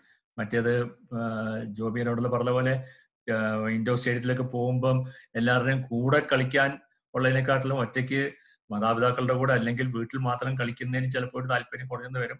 പിന്നെ വെറുതെ ഇരുന്ന് കഴിഞ്ഞാൽ എല്ലാവരും ഡള്ളാവും നമ്മളാണെങ്കിലും കുറെ നാൾ വെറുതെ ഇരുന്ന് കഴിഞ്ഞാൽ പിന്നെ ശരീരം ഒന്ന് എഴുന്നേറ്റ് നടക്കാൻ പോലും നമുക്ക് മടിയാവും. ആ ഒരു അവസ്ഥയാണ് പലപ്പോഴും കണ്ടുവരുന്നത്. പ്രത്യേകിച്ച് ഡൗൺ സിൻഡ്രോം ഉള്ള കുട്ടികൾക്ക് കുറച്ചൊരു ആലസ്യം അതായത് ഈ ഒരു കളിയും നടത്തത്തിനും കുറച്ചൊരു നമ്മളും കൂടി ഒന്ന് ഉത്സാഹിപ്പിച്ചിട്ട് നടക്കാൻ ഞാൻ പറയുന്നത് പേരൻസും കൂടെ നടക്കുക എന്നിട്ട് കൂടെ നടത്തിക്കുക. ആ ഒരു നിലയിലാണ് വരുന്നത്. അപ്പം വീട്ടിൽ ഒതുങ്ങിയിരിക്കുമ്പോൾ പ്രത്യേകിച്ച് ടി വി ഒക്കെ ഉണ്ടെങ്കിൽ ടി വി കാണാൻ താല്പര്യം ഉണ്ടെങ്കിൽ എന്തിനാ കളിക്കുന്നത് ടി വി കണ്ടിരുന്നാൽ പോരെ? ഞാൻ എന്തിനാ കളിച്ചത്? എന്താ ആ കളിക്കുന്ന എന്തിനാന്നുള്ളൊരു അതിന്റെ ഒരു ഗ്രാവിറ്റി അവർക്ക് ആക്കാൻ പറ്റുന്നില്ല എന്നുള്ളതും കൂടി ഉണ്ട് അതിന്റെ ഒരു കാര്യമായിട്ടുള്ളത്. പിന്നെ ഉറക്ക കൂടുതലും എന്നിട്ട് കളി കുറവൊക്കെ ആണെങ്കിൽ നമ്മൾ ഈ പിള്ളേർക്ക് പ്രത്യേകിച്ച് നോക്കേണ്ടത് തൈറോയിഡിന്റെ ലെവലാണ് നോക്കേണ്ടത് തൈറോയിഡ് ഹോർമോൺ കുറഞ്ഞു കഴിഞ്ഞാൽ ഇതുപോലെ ഡള്ളായിട്ട് വരാം. ഈയിടെ ഒരു ഒരു ഒന്ന് രണ്ട് കൊല്ലം മുമ്പ് എന്റെ അടുത്തേക്ക് ഒരു ഭയങ്കര വെയിറ്റ് ഉള്ള ഒരു കുട്ടിയെ കൊണ്ട് വന്നു. പണ്ട് വളരെ ആക്റ്റീവ് ആയിരുന്നു. അവരുടെ പേരൻസിന്റെ ഫാദറിന്റെ ഷോപ്പ് ഉണ്ടായിരുന്നു. ഷോപ്പിലൊക്കെ പോയി ഇരിക്കുകയായിരുന്നു പക്ഷെ രണ്ടു മൂന്ന് മാസം കൊണ്ട് വളരെ ഡള്ളായി എന്ന് പറഞ്ഞ് നോക്കി വന്നത് കണ്ടമാനം വണ്ണം വെക്കാനും തുടങ്ങി. ആക്ടിവിറ്റി ഒന്നും കുറഞ്ഞെന്ന് പറഞ്ഞ് നോക്കി ടെസ്റ്റ് ചെയ്ത് നോക്കുമ്പോൾ തൈറോയിഡ് വളരെ വളരെ കുറവായിരുന്നു. ഇപ്പൊ ആ കുട്ടി നൂറ്റി എഴുപത്തഞ്ച് മൈക്രോഗ്രാം ആണ് തൈറോയിഡ് ഹോർമോൺ കഴിച്ചുകൊണ്ടിരിക്കുന്നത്. എന്നിട്ടാണ് ഒരു നോർമൽ ലെവലിലോട്ടാകുന്നത് അപ്പൊ ഇങ്ങനെയുള്ള കുട്ടിക്ക് തൈറോയിഡിന്റെ ഡെഫിഷ്യൻസികളും അതിന്റെ വ്യതിയാനങ്ങളും വരാൻ സാധാരണ കണ്ടുവരുന്നതാണ്. അപ്പം അങ്ങനെ വല്ല ഒരു ചേഞ്ച് ആയിട്ട് ഉണ്ടെങ്കിൽ അത് നമുക്ക് നോക്കി ടെസ്റ്റ് ചെയ്യേണ്ടതാണ്. കഴിച്ചുകൊണ്ടിരിക്കുന്നതാണെങ്കിലും ഒരു ആറ് മാസത്തിലേക്ക് ടെസ്റ്റ് ചെയ്ത് കഴിഞ്ഞാൽ ആ ഡോസ് കൂട്ടുകയോ കുറയ്ക്കുകയോ വേണ്ടോ എന്നുള്ളത് നോക്കാം. ഈ കളിയൊരു അവസ്ഥ സ്കൂളിൽ പോകുന്ന സമയത്ത് കുറച്ചുകൂടി ഒരു കളിക്കാനുള്ള ഒരു സാഹചര്യം വരുന്നുണ്ട്. മറ്റു കുട്ടികളുടെ കൂടെ കളിക്കാനും അതിൽ കുറച്ചുകൂടി ഒരു ഉത്സാഹവും ആ ഒരു ആസ്പെക്ട് തീർച്ചയായിട്ടും സ്കൂളിൽ പോകുമ്പം അവിടുന്ന് കിട്ടുന്നുണ്ട്. പിന്നെ മറ്റ് മനുഷ്യരുമായിട്ട് ഇന്ററാക്ട് ചെയ്യാനായിട്ടും ഇതിപ്പോ ടി വി എന്ന് വെച്ച് കഴിഞ്ഞാൽ അല്ലെങ്കിൽ നമ്മുടെ ഈ ഓൺലൈൻ ക്ലാസ് എന്ന് വെച്ചാൽ ഇന്ററാക്ഷൻ ഉള്ള സാധ്യത കുറവാണ്. ഇതിനകത്ത് ഞങ്ങളുടെ പീഡിയാട്രിക് അക്കാഡമി പറഞ്ഞത് ഇപ്പോഴത്തെ അവസ്ഥയിലല്ല നേരത്തെ പറഞ്ഞുകൊണ്ടിരുന്നത് രണ്ട് വയസ്സിന് താഴെയുള്ള ഒരു കുട്ടിക്കും ടി വി കൊടുക്കരുതെന്നാണ്. രണ്ട് വയസ്സിന് താഴെയുള്ള ഒരു കുട്ടിക്കും. കാരണം എന്താ വെച്ച് കഴിഞ്ഞാൽ ടി വി കൊടുക്കുക അല്ലെങ്കിൽ ടി വി കണ്ടുകൊണ്ടിരിക്കുക അല്ലെങ്കിൽ മൊബൈൽ ഉപയോഗിക്കുക എന്ന് വെച്ച് കഴിഞ്ഞാൽ മൊബൈലുമായിട്ട് ഇന്ററാക്ട് ചെയ്യേണ്ട വലിയ ആവശ്യം വരുന്നില്ല. മിണ്ടാതെ കേട്ടോണ്ടിരിക്കുക എന്നുള്ളതാണ്. അത് പറയുന്നത് എന്തോ കേട്ടോണ്ടിരിക്കുക. ടി വി പറയുന്നത് എന്തോ കേട്ടോണ്ടിരിക്കുക. അപ്പൊ ഇന്ററാക്ട് ചെയ്യാൻ ഒരു അവസ്ഥ ഇല്ലാത്തപ്പം ഡള്ളായി പോകും. ഈ രണ്ട് വയസ്സ് വരെയാണ് ബാക്കിയുള്ള സ്റ്റിമുലേഷൻ മാക്സിമം വേണ്ടത്. നമ്മൾ അങ്ങോട്ട് ചോദിക്കുമ്പോൾ മറുപടി പറയണം. അല്ലെങ്കിൽ വേണമെങ്കിൽ നമ്മളോട് പറയും. അതിനെ നമ്മൾ പ്രവർത്തിച്ചു കൊടുക്കും. വെള്ളം വേണം. അല്ല അങ്ങനെയുള്ള കാര്യങ്ങൾ ഇന്ററാക്ഷൻ കണ്ടമാനം വരും. പക്ഷേ ഇത് വന്നു കഴിഞ്ഞാൽ ഇന്ററാക്ഷൻ കണ്ടമാനം കുറഞ്ഞ് ചില മിഡിൽ ഈസ്റ്റിൽ നിന്നൊക്കെ പിള്ളേർ ധാരാളം വന്നിട്ടുണ്ട്. ഓട്ടിസം ആണെന്നും പറഞ്ഞിട്ട് ഇവിടെ വന്നിട്ടുണ്ട്. പക്ഷെ നാട്ടിൽ വന്ന ഒരു രണ്ടു മൂന്ന് മാസം ഇന്ററാക്ട് ചെയ്യിപ്പിച്ച് കഴിയുമ്പോഴത്തേക്ക് അവരുടെ സംസാരവും എല്ലാം ക്ലിയർ ആയി വരുന്നുണ്ട്. ഇപ്പോഴത്തെ റെക്കമെൻഡേഷൻ അഞ്ച് വരെ അഞ്ച് വയസ്സ് വരെ മൊബൈൽ കൊടുക്കണ്ട എന്നുള്ളതാണ് പക്ഷെ നമ്മുടെ ഇപ്പോഴത്തെ സാഹചര്യത്തിൽ ഓൺലൈൻ എഡ്യൂക്കേഷന്റെ സാഹചര്യത്തിൽ അത് നമ്മൾ അതൊരു അക്സെപ്റ്റ് ചെയ്യേണ്ട ഒരു കാര്യമാണ്. കാരണം സ്കൂളിൽ പോകാനും ഒക്കെ പ്രയാസമുള്ളപ്പം സ്കൂളിൽ പോകുന്നതിലും പോകാതിരിക്കുന്നതിലും ഭേദം ഈ ഒരു മാധ്യമം മാധ്യമം ഉപയോഗിക്കുന്നുണ്ട്. തെറ്റില്ല എന്നുള്ളതാണ്. നമ്മൾ ഇതിനകത്ത് ഒരു കാര്യം മനസ്സിലാക്കേണ്ടത് ഇത് നമ്മൾ ആദ്യമായിട്ട് വന്നൊരു സിസ്റ്റമാണ്. അതായത് സിസ്റ്റം എന്ന് വെച്ച് കഴിഞ്ഞാൽ ഒരു സീരിയസ് ആയിട്ടുള്ള എഡ്യൂക്കേഷൻ ആസ്പെക്ട് ഉള്ളത്. പല ടീച്ചർമാർക്കും ഇത് ഉപയോഗിക്കാൻ ട്രെയിൻഡ് അല്ല. ഉപയോഗിക്കുക എന്ന് വെച്ച് കഴിഞ്ഞാൽ ഇതിൽ കൂടി ക്ലാസ് എടുക്കുന്നത് മറ്റേ ബോർഡിൽ സ്കൂളിൽ ചെന്ന് ക്ലാസ്സിൽ ചെന്ന് ക്ലാസ് എടുക്കുന്നതിന് വ്യത്യസ്തമായിട്ടുള്ളതാണ്. അപ്പൊ ക്ലാസ്സിൽ ചെന്ന് ക്ലാസ് എടുക്കുന്നതും ഇതും തമ്മിൽ നന്നായിട്ട് വ്യത്യാസമുണ്ട്. ആ സൈക്കോളജിക്കലും ആ കുട്ടികളുടെ ചെയ്യുന്ന കാര്യങ്ങൾ ചെയ്യിപ്പിക്കുന്ന കാര്യങ്ങളും എല്ലാം അപ്പൊ ഇത് കൊണ്ട് പല ടീച്ചേഴ്സും ഇതിൽ ട്രെയിൻഡ് അല്ലാത്തതുകൊണ്ട് അവർ തരുന്ന ക്ലാസ്സസ് ചിലപ്പോൾ അത്ര ഇഫക്റ്റീവ് ആയെന്ന് വരില്ല. അത് അവരുടെ കുറ്റം കൊണ്ടല്ല. അവർക്ക് ട്രെയിനിങ് കിട്ടിയിട്ടില്ല. അപ്പൊ അതുകൊണ്ട് ചിലപ്പം ഉദ്ദേശിക്കുന്ന അത്രയും ഇഫക്റ്റീവ് ആയില്ല എന്ന് വരും. അപ്പൊ അത് നമ്മൾ ഒരു പരിധി വരെ മനസ്സിലാക്കേണ്ടി വരും. അതുള്ള വേറൊരു കാര്യം എന്ന് വെച്ച് കഴിഞ്ഞാൽ പല കുട്ടികൾക്കും പേരൻസ് കൂടി ഇരുന്നാലേ കാര്യങ്ങൾ നടക്കത്തുള്ളൂ. ക്ലാസ്സിൽ പോയി ഇരുന്ന് കഴിയുമ്പോഴത്തേക്ക് എല്ലാവരുടെയും കൂടെ ടീച്ചർ പറയുന്നത് കേട്ട് അവരങ്ങ് അനുസരിച്ചിരിക്കും. പക്ഷെ വീട്ടിലാവുമ്പം അത്രയും ഒരു ബുദ്ധിമുട്ട് അവരെ ചിലപ്പോൾ അങ്ങോട്ടോ അങ്ങോട്ടോടും ഇങ്ങോട്ടോടും ഓടും വേറൊന്നും ആകെപ്പാടൊരു സ്ക്രീനിന്റെ മുമ്പിൽ ഇരിക്കുന്നു എന്ന് മാത്രമേ ഉള്ളൂ. അപ്പൊ ഫുൾ ടൈം പേരൻസ് കൂടി ഇരുന്നെങ്കിൽ മാത്രമേ ഇതിന്റെ അകത്തുനിന്ന് ചെറിയ ക്ലാസ്സിലെ പിള്ളേർക്ക് പ്രത്യേകിച്ച് ഒരു പത്ത് വയസ്സുള്ള പിള്ളേർക്ക് പേരൻസിന്റെ സാന്നിധ്യത്തിൽ മാത്രമേ ഇതിനൊരു ഇഫക്റ്റീവ്നെസ് കാണാനുള്ളൂ. അതുകൊണ്ടായിരിക്കും ഷാലു കൂടി ഇരിക്കുന്നതുകൊണ്ടായിരിക്കും ഷാലുവിന് അത്രയും ഒരു ഇഫക്റ്റീവ് ഇതായിട്ട് കണ്ടുവരുന്നത്. കാരണം ഇരുത്തി അവർ പറയുന്നത് പിള്ളേരെ കൊണ്ട് ചെയ്യിപ്പിച്ച് ആ ഒരു ഇന്ററാക്ഷൻ കാരണം ഷാലുവാണ് അവിടെ ടീച്ചർ അല്ല ഓൺലൈൻ ക്ലാസ് കാണുന്ന ആളല്ല ടീച്ചർ ആ ടീച്ചറിൽ കൂടെ വരുന്നത് ആ പേരന്റ് ആണ് കുട്ടിയെ പഠിപ്പിക്കുന്നത്. അപ്പൊ ആ പേരന്റ് പഠിപ്പിക്കുന്ന ആ ഒരു ഇതും സ്റ്റിമുലസും സ്കൂളിൽ നിന്ന് വരുന്ന ഡാറ്റയും കൂടെ ആകുമ്പോഴത്തേക്കാണ് ഇഫക്റ്റീവ്നെസ് വരുന്നത്. പക്ഷെ പല പേരൻസിലും അങ്ങനെ ഫുൾ ടൈം ആയിട്ട് അതിന്റെ മുമ്പിൽ ഇരിക്കാനുള്ളൊരു സമയം കിട്ടിയെന്ന് വരത്തില്ല. അപ്പൊ അതൊരു ഒരു ലിമിറ്റിംഗ് ഫാക്ടറാണ് ഇപ്പൊ കൊറോണയാണ് ഇപ്പൊ എല്ലാവരും വീട്ടിലാണ് എന്നൊക്കെ പറഞ്ഞൊക്കെ ശരിയാണ്. പക്ഷെ എല്ലാവരും ഇപ്പൊ ജോലിക്ക് പോയി തുടങ്ങി. അപ്പൊ ആ നിലയിൽ അതൊരു മേജർ ഫാക്ടറാണ് കൂടെ ഇരിക്കാനുള്ളൊരു പ്രയാസം എന്നുള്ളത്. തെറാപ്പികളുള്ള കുട്ടികൾക്ക് ശരിക്കും ഒരു പ്രയാസമാണ്. കാരണം അവർ പറയുന്ന പോലെ ഇവർക്ക് അവർക്ക് ശരിക്കും അസസ് ചെയ്യാനും പറ്റുന്നില്ല. അപ്പം എന്തെങ്കിലും ഒരു കാര്യം ചെയ്യാൻ പറഞ്ഞാൽ പേരന്റ് ചെയ്യിപ്പിച്ച് ചെയ്യിച്ചു കൊടുക്കണം. അല്ലെങ്കിൽ ആ ചെയ്തതിൽ ഇപ്പം മസിൽ ടോണ് കൈ മടക്കുക നുറുക്കുകയും ചെയ്യുമ്പോൾ എങ്ങനെ മസിൽ ടൈറ്റായി വരുന്നുണ്ടോ ഇല്ലയോ എന്നൊക്കെ അവർക്ക് അവിടുത്തെ നോക്കാൻ പറ്റത്തില്ല. അപ്പൊ പിന്നെ നിങ്ങൾ ചെയ്യിപ്പിക്കുക. ഓരോ കാര്യങ്ങൾ ചെയ്യിപ്പിക്കുക എന്നുള്ളതേ ഉള്ളൂ. അത് അതിനകത്ത് ഒരുപാട് ലിമിറ്റേഷൻസ് ഉണ്ട്. പക്ഷെ നേരത്തെ ഞാൻ പറഞ്ഞ പോലെ ഒന്നുമില്ലാതെ ഇരിക്കുന്നതിൽ നല്ലത് തീർച്ചയായിട്ടും ഇത്. പിന്നെ സ്പീച്ചിന്റെ കാര്യത്തിൽ ഏറ്റവും ബെസ്റ്റ് വീട്ടിൽ തന്നെയാണ്.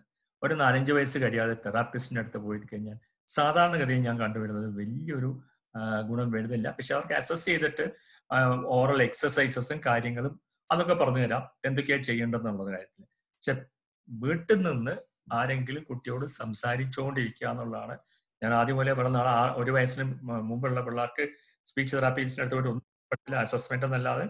അപ്പം മുഖത്തോട് മുഖം നോക്കിയിട്ട് എളുപ്പമുള്ള വാക്കുകൾ പറഞ്ഞു കൊടുക്കുക. അവർക്ക് നാക്ക് വളച്ച് സംസാരിക്കാനുള്ള പ്രയാസമുണ്ട്. നാക്കിന് കുറച്ച് കട്ടി കൂടുതൽ അത് വളഞ്ഞ് കിട്ടാനായിട്ടും പ്രയാസമുണ്ട്. അവിടെയാണ് തെറാപ്പിസ്റ്റിന്റെ ഒക്കെ ആവശ്യം വരുന്നത്. ഇതൊന്നും ചെയ്യില്ല ഇവരെല്ലാം സംസാരിക്കും. പക്ഷെ വീട്ടിലുള്ള ആളുകൾക്ക് മാത്രമേ മനസ്സിലാകത്തുള്ളൂ.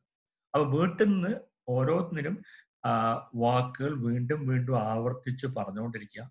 പറയുമ്പോൾ ക്ലിയർ ആയിട്ടില്ലെങ്കിൽ സാരമില്ല. വീണ്ടും നമ്മൾ കറക്റ്റ് ചെയ്തുകൊണ്ടിരിക്കുക. അങ്ങനെ ചെയ്ത് ചെയ്തപ്പോൾ നമ്മൾ തത്തമ്മയെ പൂച്ച പൂച്ച എന്ന് പറഞ്ഞ അവസാനം തത്തമ്മയ്ക്ക് പറയാൻ പറ്റുന്ന പറഞ്ഞ പോലെ ഇവരോട് വീണ്ടും വീണ്ടും ആവർത്തിച്ച് പറഞ്ഞ് പറഞ്ഞ് പറഞ്ഞ് ഇവർക്ക് സംസാരിക്കാൻ സാധിക്കും.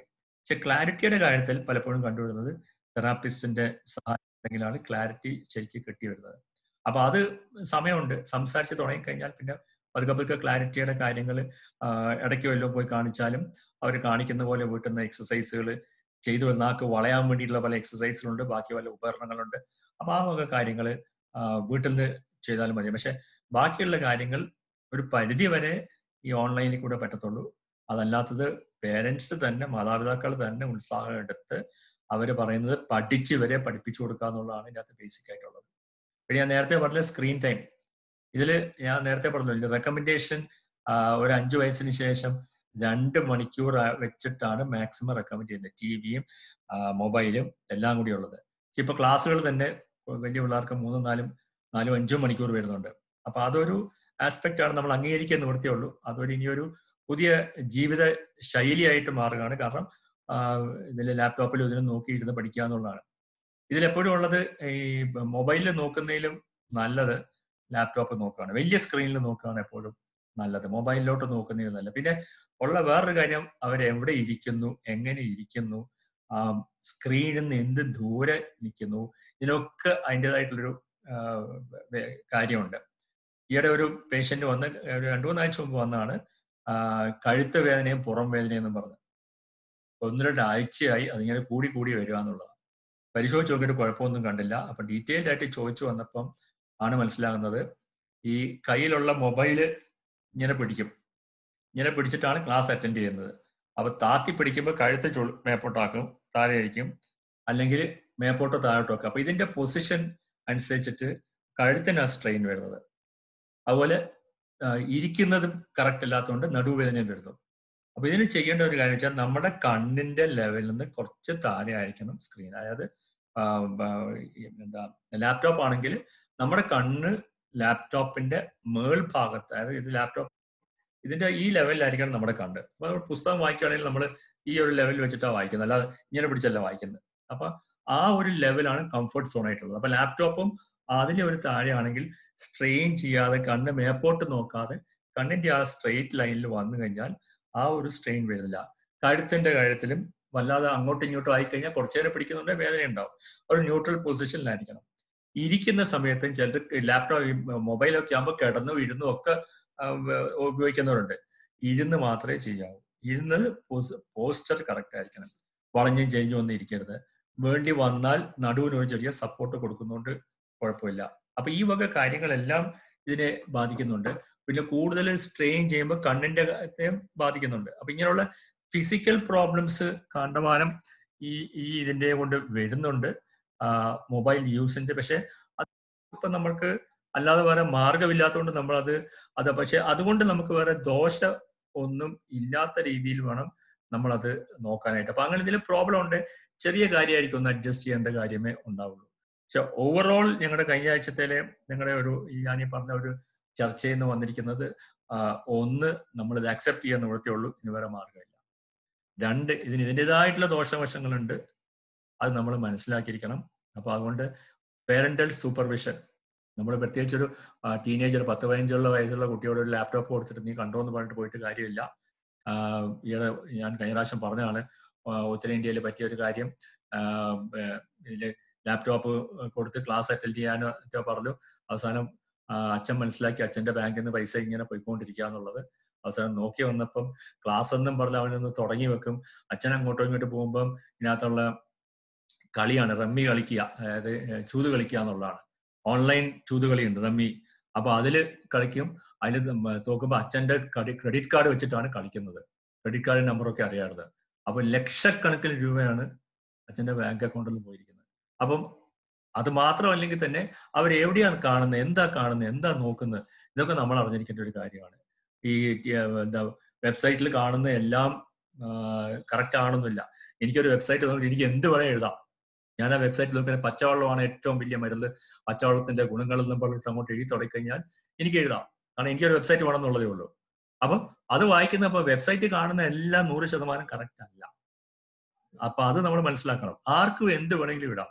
അപ്പൊ ഏത് സൈറ്റിൽ പോകുന്നു എന്നുള്ളതിനെ ആശ്രയിച്ചും അതൊക്കെ ഇരിക്കും. പിന്നെ തമാശകളും ഇതൊക്കെ വരുമ്പം പഠിക്കുന്നതിന്റെ ഇടയിൽ പഠിത്തം അങ്ങോട്ട് മാറ്റി വെച്ചിട്ട് ഇതങ്ങോട്ട് കണ്ടു കഴിഞ്ഞാൽ ഒന്നുമില്ല ഓണാക്കി അവിടെ വെച്ചോ അല്ലെങ്കിൽ എന്തെങ്കിലും ചെയ്യാം.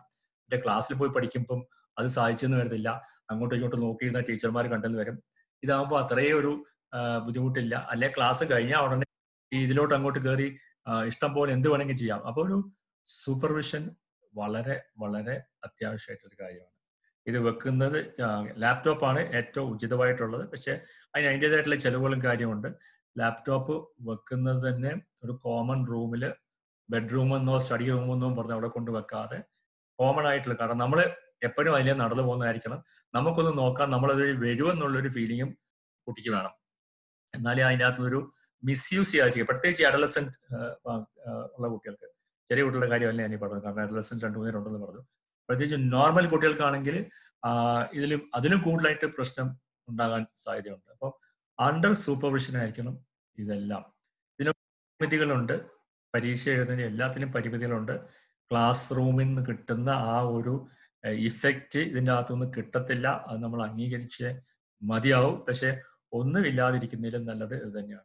ക്ലാസ് റൂമിൽ പോയി കഴിയുമ്പോൾ ആളുകളായിട്ട് ഇന്ററാക്ട് ചെയ്യാൻ പഠിക്കുന്നു. ആളുകളായിട്ട് പെരുമാറാൻ പഠിക്കുന്നു. ആ പഠിക്കുന്നത് ഇതിൽ മാത്രമല്ല മറ്റുള്ള കുട്ടികളിൽ നിന്നൊക്കെ പഠിക്കുന്നത്. ഈ ഒരു ടീച്ചർ ഒരു ഇതിനകത്തുനിന്ന് പറഞ്ഞ കാര്യം എന്ന് വെച്ചാൽ കുട്ടി ക്ലാസ് റൂമിൽ പോകുമ്പോൾ വളരെ ക്വയറ്റാണ് ചോദിച്ചാൽ പോലും ഒന്നും മിണ്ടത്തില്ല. പക്ഷെ ഓൺലൈൻ വന്നു കഴിഞ്ഞപ്പോഴത്തേക്ക് കാരണം നേരിട്ട് കാണുന്നില്ലല്ലോ. കുറെ ഇമേജസ് അല്ലേ കാണുന്നത്? അപ്പം എന്ത് ചോദിച്ചാലും ചോദിക്കുന്നതും ചോദിക്കാത്ത എല്ലാം ആൻസർ ആയിട്ട് ആൻസർ മറ്റേ ചാറ്റിൽ ബോക്സിൽ അടിക്കാന്നുള്ള അവർ പറയുന്നത്. ചാറ്റിൽ ഇങ്ങനെ അടിച്ചുകൊണ്ടിരിക്കുകയാണ്. അപ്പൊ അതൊരു സൈക്കോളജിക്കൽ ഇതാണ്.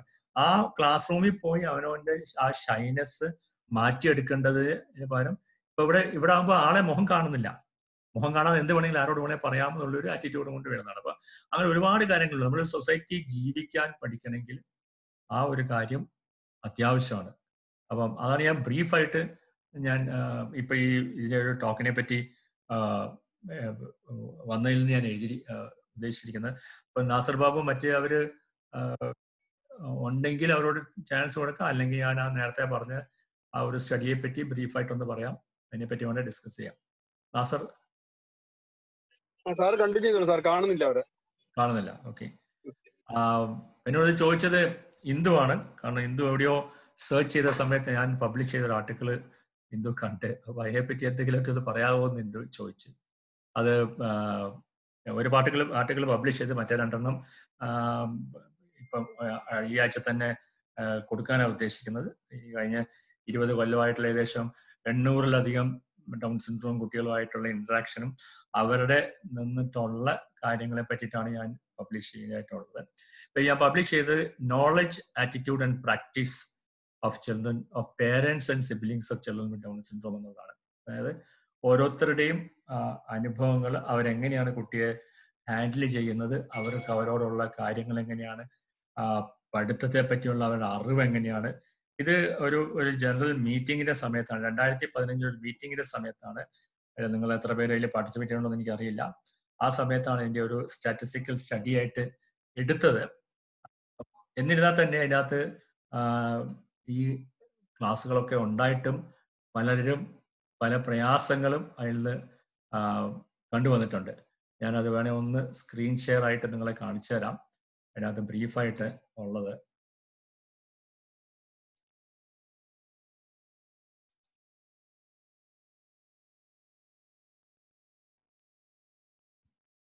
ഇതാണ് knowledge attitude and belief of caretakers of children Down syndrome എന്നുള്ളതാണ് ആർട്ടിക്കിൾ പബ്ലിഷ് ചെയ്തത്. ഇതിനകത്തുള്ള ഒരു കാര്യം മനസ്സിലാക്കിയിരിക്കുന്നത് ഞാൻ ഡീറ്റെയിൽസ് ഒന്നും പോകുന്നില്ല.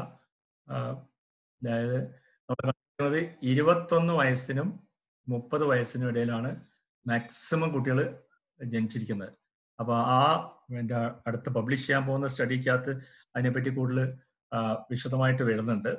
അതൊരു ജസ്റ്റ് ഒരു ഇൻഫർമേഷൻ അല്ല ഇതിനകത്ത് attitude of mothers on having a childhood Down syndrome അമ്മമാരുടെ ആറ്റിറ്റ്യൂഡ് എങ്ങനെയാണ്? ഒരു കുട്ടി ജനിക്കുമ്പോൾ അതിൽ ഭൂരിപക്ഷം പേരും സന്തോഷം എന്നുള്ള പറഞ്ഞത്.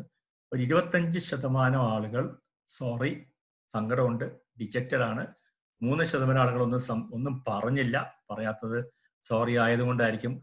അപ്പോൾ ഒരു പത്ത് മുപ്പത് ശതമാനം ആളുകൾക്ക് ഡിജക്റ്റഡ് ആണ്. ഒരു പരിധി വരെ നമ്മളത് അംഗീകരിച്ചു കൊടുക്കാം. കാരണം തീരെ പ്രതീക്ഷിക്കാതൊരു കുട്ടി ജനിക്കുമ്പം അങ്ങനെ ഒരു ഡൗൺ സിൻഡ്രോം ഉള്ള കുട്ടിയാണെന്ന് അറിയുമ്പോൾ അതിന്റെ അകത്തുള്ളൊരു ഡിജക്ഷൻ ഒരു പരിധി വരെ കാണും. അത് പക്ഷെ നമ്മൾ തരണം ചെയ്യാന്നുള്ളതാണ് നമുക്ക് സർവൈവ് ചെയ്യാനായിട്ടുള്ളൊരു ഇപ്പൊ കൊറോണ വന്ന് കൊറോണ വന്ന് നമ്മളെല്ലാവരും നമുക്ക് എല്ലാവർക്കും സങ്കടമുണ്ട് നമുക്ക് എല്ലാവർക്കും പ്രയാസമുണ്ട് പല രീതിയിലുള്ള പ്രശ്നമുണ്ട്. പക്ഷെ കൊറോണ വന്നെന്ന് പറഞ്ഞ് നമ്മൾ മിണ്ടായിരുന്ന കഴിഞ്ഞാൽ കാര്യമില്ല. അതിന് ആ കൊറോണയുള്ള കാലത്തിൽ നമ്മൾ എങ്ങനെ ജീവിക്കാൻ പറ്റുമെന്ന് നമ്മൾ പഠിക്കുകയാണ്. അത് കഴിഞ്ഞ ഒരു ഒമ്പത് മാസമായിട്ട് ആറ് ആറ് മാസത്തിൽ കൂടുതലായി നമ്മളിവിടെ കേരളത്തിൽ അത് ശ്രമിച്ചുകൊണ്ടിരിക്കുകയാണ്. അപ്പൊ അങ്ങനെയുള്ള സമയത്ത് ഒരു ഡൗൺ സിൻഡ്രോം ഉള്ള കുട്ടി ജനിച്ചു എന്ന് പറഞ്ഞിട്ട് കഴിഞ്ഞാൽ സോറി വരാം ഡിജക്ഷൻ വരാം പക്ഷെ അത് അധികം താമസിക്കാതെ അതിനെ നമ്മൾ ഓവർകം ചെയ്തെങ്കിൽ മാത്രമേ നമുക്കും ആ കുട്ടിക്കും മുമ്പോട്ട് പോകാനുള്ള ഒരു കാര്യങ്ങൾ ചെയ്തു നീക്കാൻ പറ്റത്തുള്ളൂ.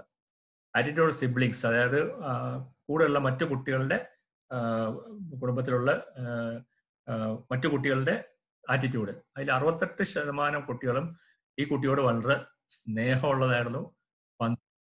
വേണ്ടി എന്തും ചെയ്യാൻ തയ്യാറായിട്ടായിരുന്നു.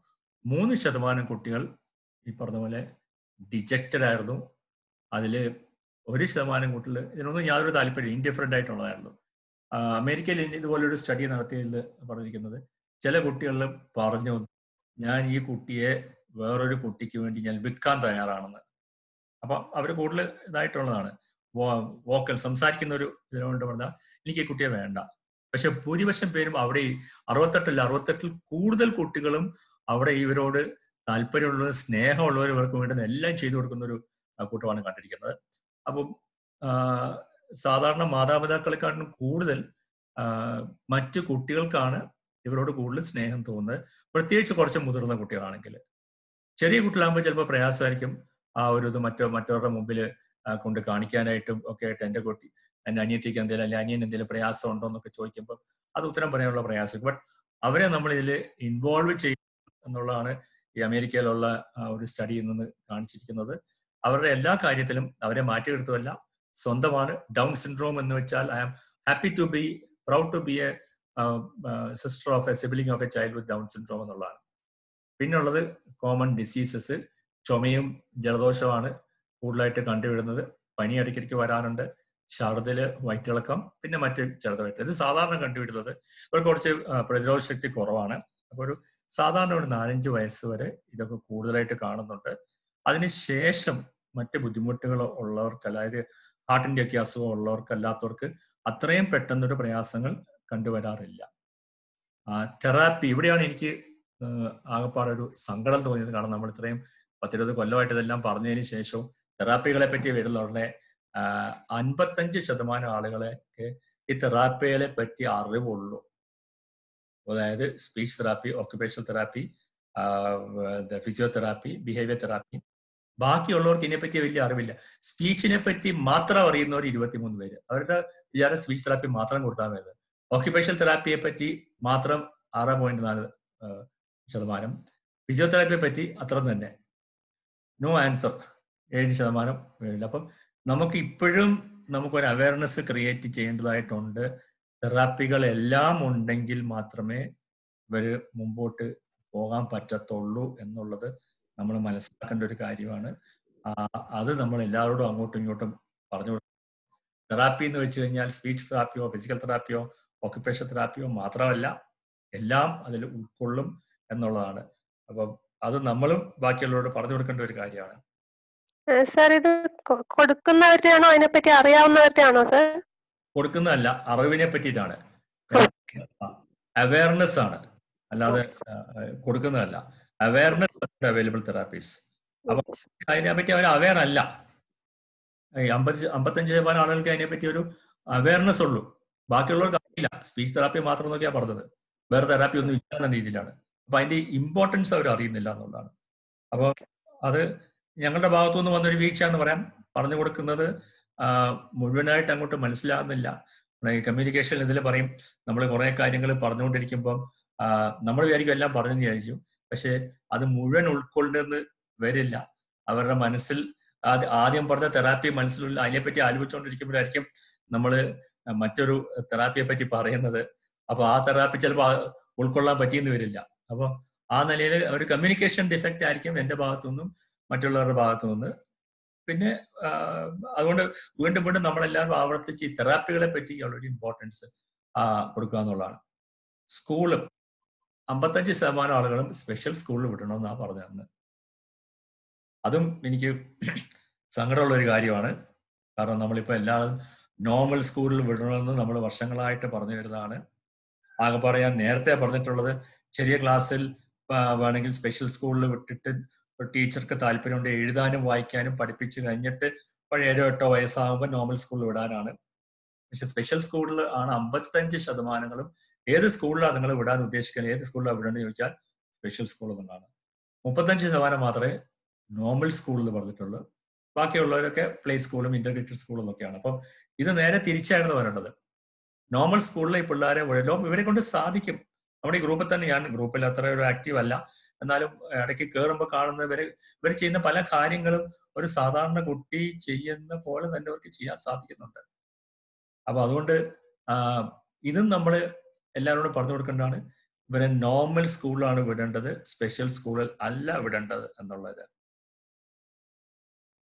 പിന്നെ സൊസൈറ്റിയുടെ റെസ്പോൺസ് അമ്പത്തിരണ്ട് ശതമാനം ആളുകൾക്കും സിമ്പതിയാണ് അയ്യോ നിങ്ങൾക്ക് അങ്ങനെ കുട്ടിയുണ്ടല്ലേ? എന്തായി എന്നുള്ളത്. സിമ്പതി അവർക്ക് ആവശ്യമില്ല. ഇപ്പൊ ഒരു അയ്യോ നിങ്ങൾക്ക് പെൺകുട്ടിയല്ലേ ഉള്ളത്? എന്ന് പറഞ്ഞ പോലെ ഉള്ളതേ ഉള്ളൂ. അയ്യോ നിങ്ങൾക്ക് ഡൗൺ സിൻഡ്രോം ഉള്ള ഒരു കുട്ടിയാണുള്ളത് എന്ന് പറഞ്ഞ പോലെ. ഇവർക്ക് സിമ്പതി അല്ല ആവശ്യം. പിന്നെ ഒരു ഇരുപത്തഞ്ച് ശതമാനം കൂടുതൽ എന്താ ചെകഞ്ഞ് ചെകഞ്ഞ് ചോദിക്കാന്നുള്ള അല്ല ഈ കുട്ടി കാണിച്ചില്ലേ? കാണിച്ചിട്ട് ഡോക്ടർ ഒന്നും മരുന്ന് പറഞ്ഞില്ലേ? നിങ്ങൾ ഇതിനൊന്നും ചെയ്യുന്നില്ലേ മാതാപിതാക്കൾ ചെയ്യുന്നതിൽ കൂടുതൽ വേറൊരാൾ അന്നേരം കാണുമ്പം കൂടുതലായിട്ടൊന്നും ചെയ്യാനില്ല. പക്ഷെ ഇത് നമ്മുടെ സൊസൈറ്റിയുടെ ഒരു പ്രശ്നമായിട്ടാണ് ഞാൻ കാണുന്നത്. എന്തെങ്കിലും പറഞ്ഞുകൊണ്ടിരിക്കുക എന്നുള്ളത്. പിന്നെ ഒരു പതിനാറ് ശതമാനം ആളുകൾ തുറച്ചു നോക്കിക്കൊണ്ടിരിക്കുക. എന്തോ ഒരു വ്യത്യസ്തമായിട്ടുള്ളത്. എട്ട് ശതമാനം ആളുകൾ വളരെ ഹാർഷായിട്ടുള്ള കമന്റ് നിങ്ങൾ എന്തിനാ ഈ കുട്ടിയെ കൊണ്ട് ഇങ്ങോട്ട് വന്നത്? നിങ്ങൾക്ക് ഈ കുട്ടിയെ കൊണ്ട് വീട്ടിലങ്ങോട്ട് ഇരുന്നാൽ പോരെ? ഇങ്ങനെയുള്ള കമന്റ്സ് പതിനാറ് ശതമാനം ആൻസർ ഒന്നും പറഞ്ഞില്ല അപ്പൊ ഇവിടെ നമുക്ക് സൊസൈറ്റിയിൽ നമുക്ക് ഇവരെ പറ്റിയുള്ളൊരു ചിന്താഗതി മാറ്റിയെടുക്കേണ്ടതായിട്ടുണ്ട്. ഇവർക്ക് സിമ്പതി അല്ല ആവശ്യം. എമ്പതി എന്ന് വേണേൽ പറയാം. അത് കൊടുക്കുന്ന കുഴപ്പമില്ല. ചോദിക്കാം. ആ നിങ്ങളെ കുട്ടിക്ക് എന്തെങ്കിലും ചികിത്സ എടുക്കുന്നുണ്ടോ? അതായത് എന്ത് ചികിത്സയാ? ഇത്രയായിട്ട് നിങ്ങൾക്ക് ഇത്രയും വ്യത്യാസമില്ല? കുട്ടി ഇപ്പോഴായിട്ട് സംസാരം ക്ലിയർ അല്ലോ നിങ്ങളൊന്നും ചെയ്തില്ലേ? നിങ്ങൾക്ക് വേറെ ഡോക്ടറെ കൊണ്ട് കാണിക്കരുതോ? അത് ചെയ്യരുതോ? ഇത് ചെയ്യരുതോ? ഇങ്ങനെ ചോദിച്ചുകൊണ്ടിരിക്കുന്ന ഒരു സമൂഹമാണ് നമുക്കുള്ളത്. അത് പലപ്പോഴും മാതാപിതാക്കൾക്ക് അതൊരു പ്രയാസമായിട്ട് തോന്നിയെന്ന് വരാം. സുരേന്ദ്രൻ എന്തോ ചോദിക്കണം അൺമ്യൂട്ട് ചെയ്തിട്ട് ചോദിക്കാം. ചോദിക്കണമെന്നുണ്ടെങ്കിൽ സുരേന്ദ്രൻ കൈപൊക്കി അതുകൊണ്ടാണ് ചോദിച്ചത്. സ്വയം അൺമ്യൂട്ട് ചെയ്യാം. അൺമ്യൂട്ട് ചെയ്ത് ചോദിക്കാവുന്നതാണ്. ഇല്ലെങ്കിൽ പിന്നെ ആകാം. Parents response. അപ്പൊ ഈ സൊസൈറ്റി ഇങ്ങനെയൊക്കെ പറയുമ്പം എങ്ങനെയാണ് മാതാപിതാക്കൾ പ്രതികരിക്കുന്ന പ്രതികരിക്കുന്നത് എന്നുള്ളതാണ് പേരൻസ് റെസ്പോൺസ് സൊസൈറ്റി എന്നും പറഞ്ഞ് ഞാൻ ചോദിച്ചത്. വളരെ ക്ഷമയോട് കൂടിയിട്ട് എഴുപത്തഞ്ച് ശതമാനം ആളുകളും അതിന് ഉത്തരം പറഞ്ഞു കൊടുക്കും. ആരെങ്കിലും കാണിച്ചിട്ടില്ലേ? കാണിച്ചു. എവിടെ കാണിച്ചു? അവിടെ കാണിച്ചു. ഡോക്ടർ ഒന്നും പറഞ്ഞില്ലേ? ഡോക്ടർ പറഞ്ഞു. ഇതിങ്ങനെ വിശദമായിട്ട് പറഞ്ഞുകൊണ്ടിരിക്കുകയാണ് എഴുപത്തഞ്ച് ശതമാനം ചിലർ പതിനാല് ശതമാനം ഇത് ഇതൊക്കെ കേൾക്കുമ്പോൾ എനിക്ക് കരയാൻ വരുന്നുള്ളതാണ് വേറൊരു പതിനാല് ശതമാനം ആളുകൾ ഏതെങ്കിലും ഇഗ്നോർ ചെയ്യുക അവർ ചോദിക്കട്ടെ. അതെന്റെ സംബന്ധിച്ച കാര്യമല്ല. രണ്ട് ശതമാനം ദേഷ്യവും എല്ലാം കൂടെ വരുന്ന ആളാണ്. എനിക്കിതിൽ ഏറ്റവും ഇഷ്ടപ്പെട്ട നമ്മുടെ ഗ്രൂപ്പിൽ വരുന്ന ഒരാളാണ്. ഒരിക്കലൊരു കുട്ടിയെ കൊണ്ട് വേറൊരു കുട്ടിയെ കൊണ്ട് വേറൊരു പേരന്റിനെയും കുട്ടിയെയും കൊണ്ട് വന്നപ്പം ഞാനിത് സംസാരിച്ചുകൊണ്ടിരിക്കുമ്പോൾ ഈ ഈ വ്യക്തി ഞാൻ പേരെടുത്ത് പറയുന്നില്ല. ഈ ഇന്നിവിടെ ഉണ്ടോ എന്ന് ഞാൻ ശ്രദ്ധിച്ചില്ല. ഈ വ്യക്തി അവരോട് അവരോട് എന്റെ മുമ്പിൽ നിന്ന് പറയാം ഞാൻ സംസാരിച്ചിട്ടുണ്ട് നിങ്ങളൊരു കാര്യം മനസ്സിലാക്കണം. നിങ്ങളോട് കാര്യമല്ല കുട്ടികൾ ഇതെന്താ അതാന്ന് ചോദിച്ചു കഴിഞ്ഞാൽ അവരോട് പറയണം. എനിക്ക് ഇതിൽ താല്പര്യം എനിക്ക് ഇതിൽ വിഷമമില്ല. പിന്നെ നിങ്ങൾക്ക് എന്തിനാ വിഷമിക്കുന്നു ചോദിക്കണം. അങ്ങനെ വായിച്ചാൽ പിന്നെ ആരും ഒന്നും തിരിച്ചു പറയത്തില്ല. അവർ പറഞ്ഞ ഒരു കാര്യം ശരിയാണ്. എനിക്ക് എന്റെ കുട്ടിയിലുള്ള താല്പര്യം അത്രയും എനിക്കുള്ള വിഷമം അത്രയും അല്ലെ എനിക്ക് വിഷമം ഇല്ലാത്തത് നിങ്ങൾക്ക് ഏതായാലും ഉണ്ടാവില്ല. പിന്നെ ദയവ് ചെയ്ത് നിങ്ങൾ ഇങ്ങനെ ആവശ്യമില്ലാത്ത ചോദ്യങ്ങൾ ചോദിക്കാതിരിക്കുക.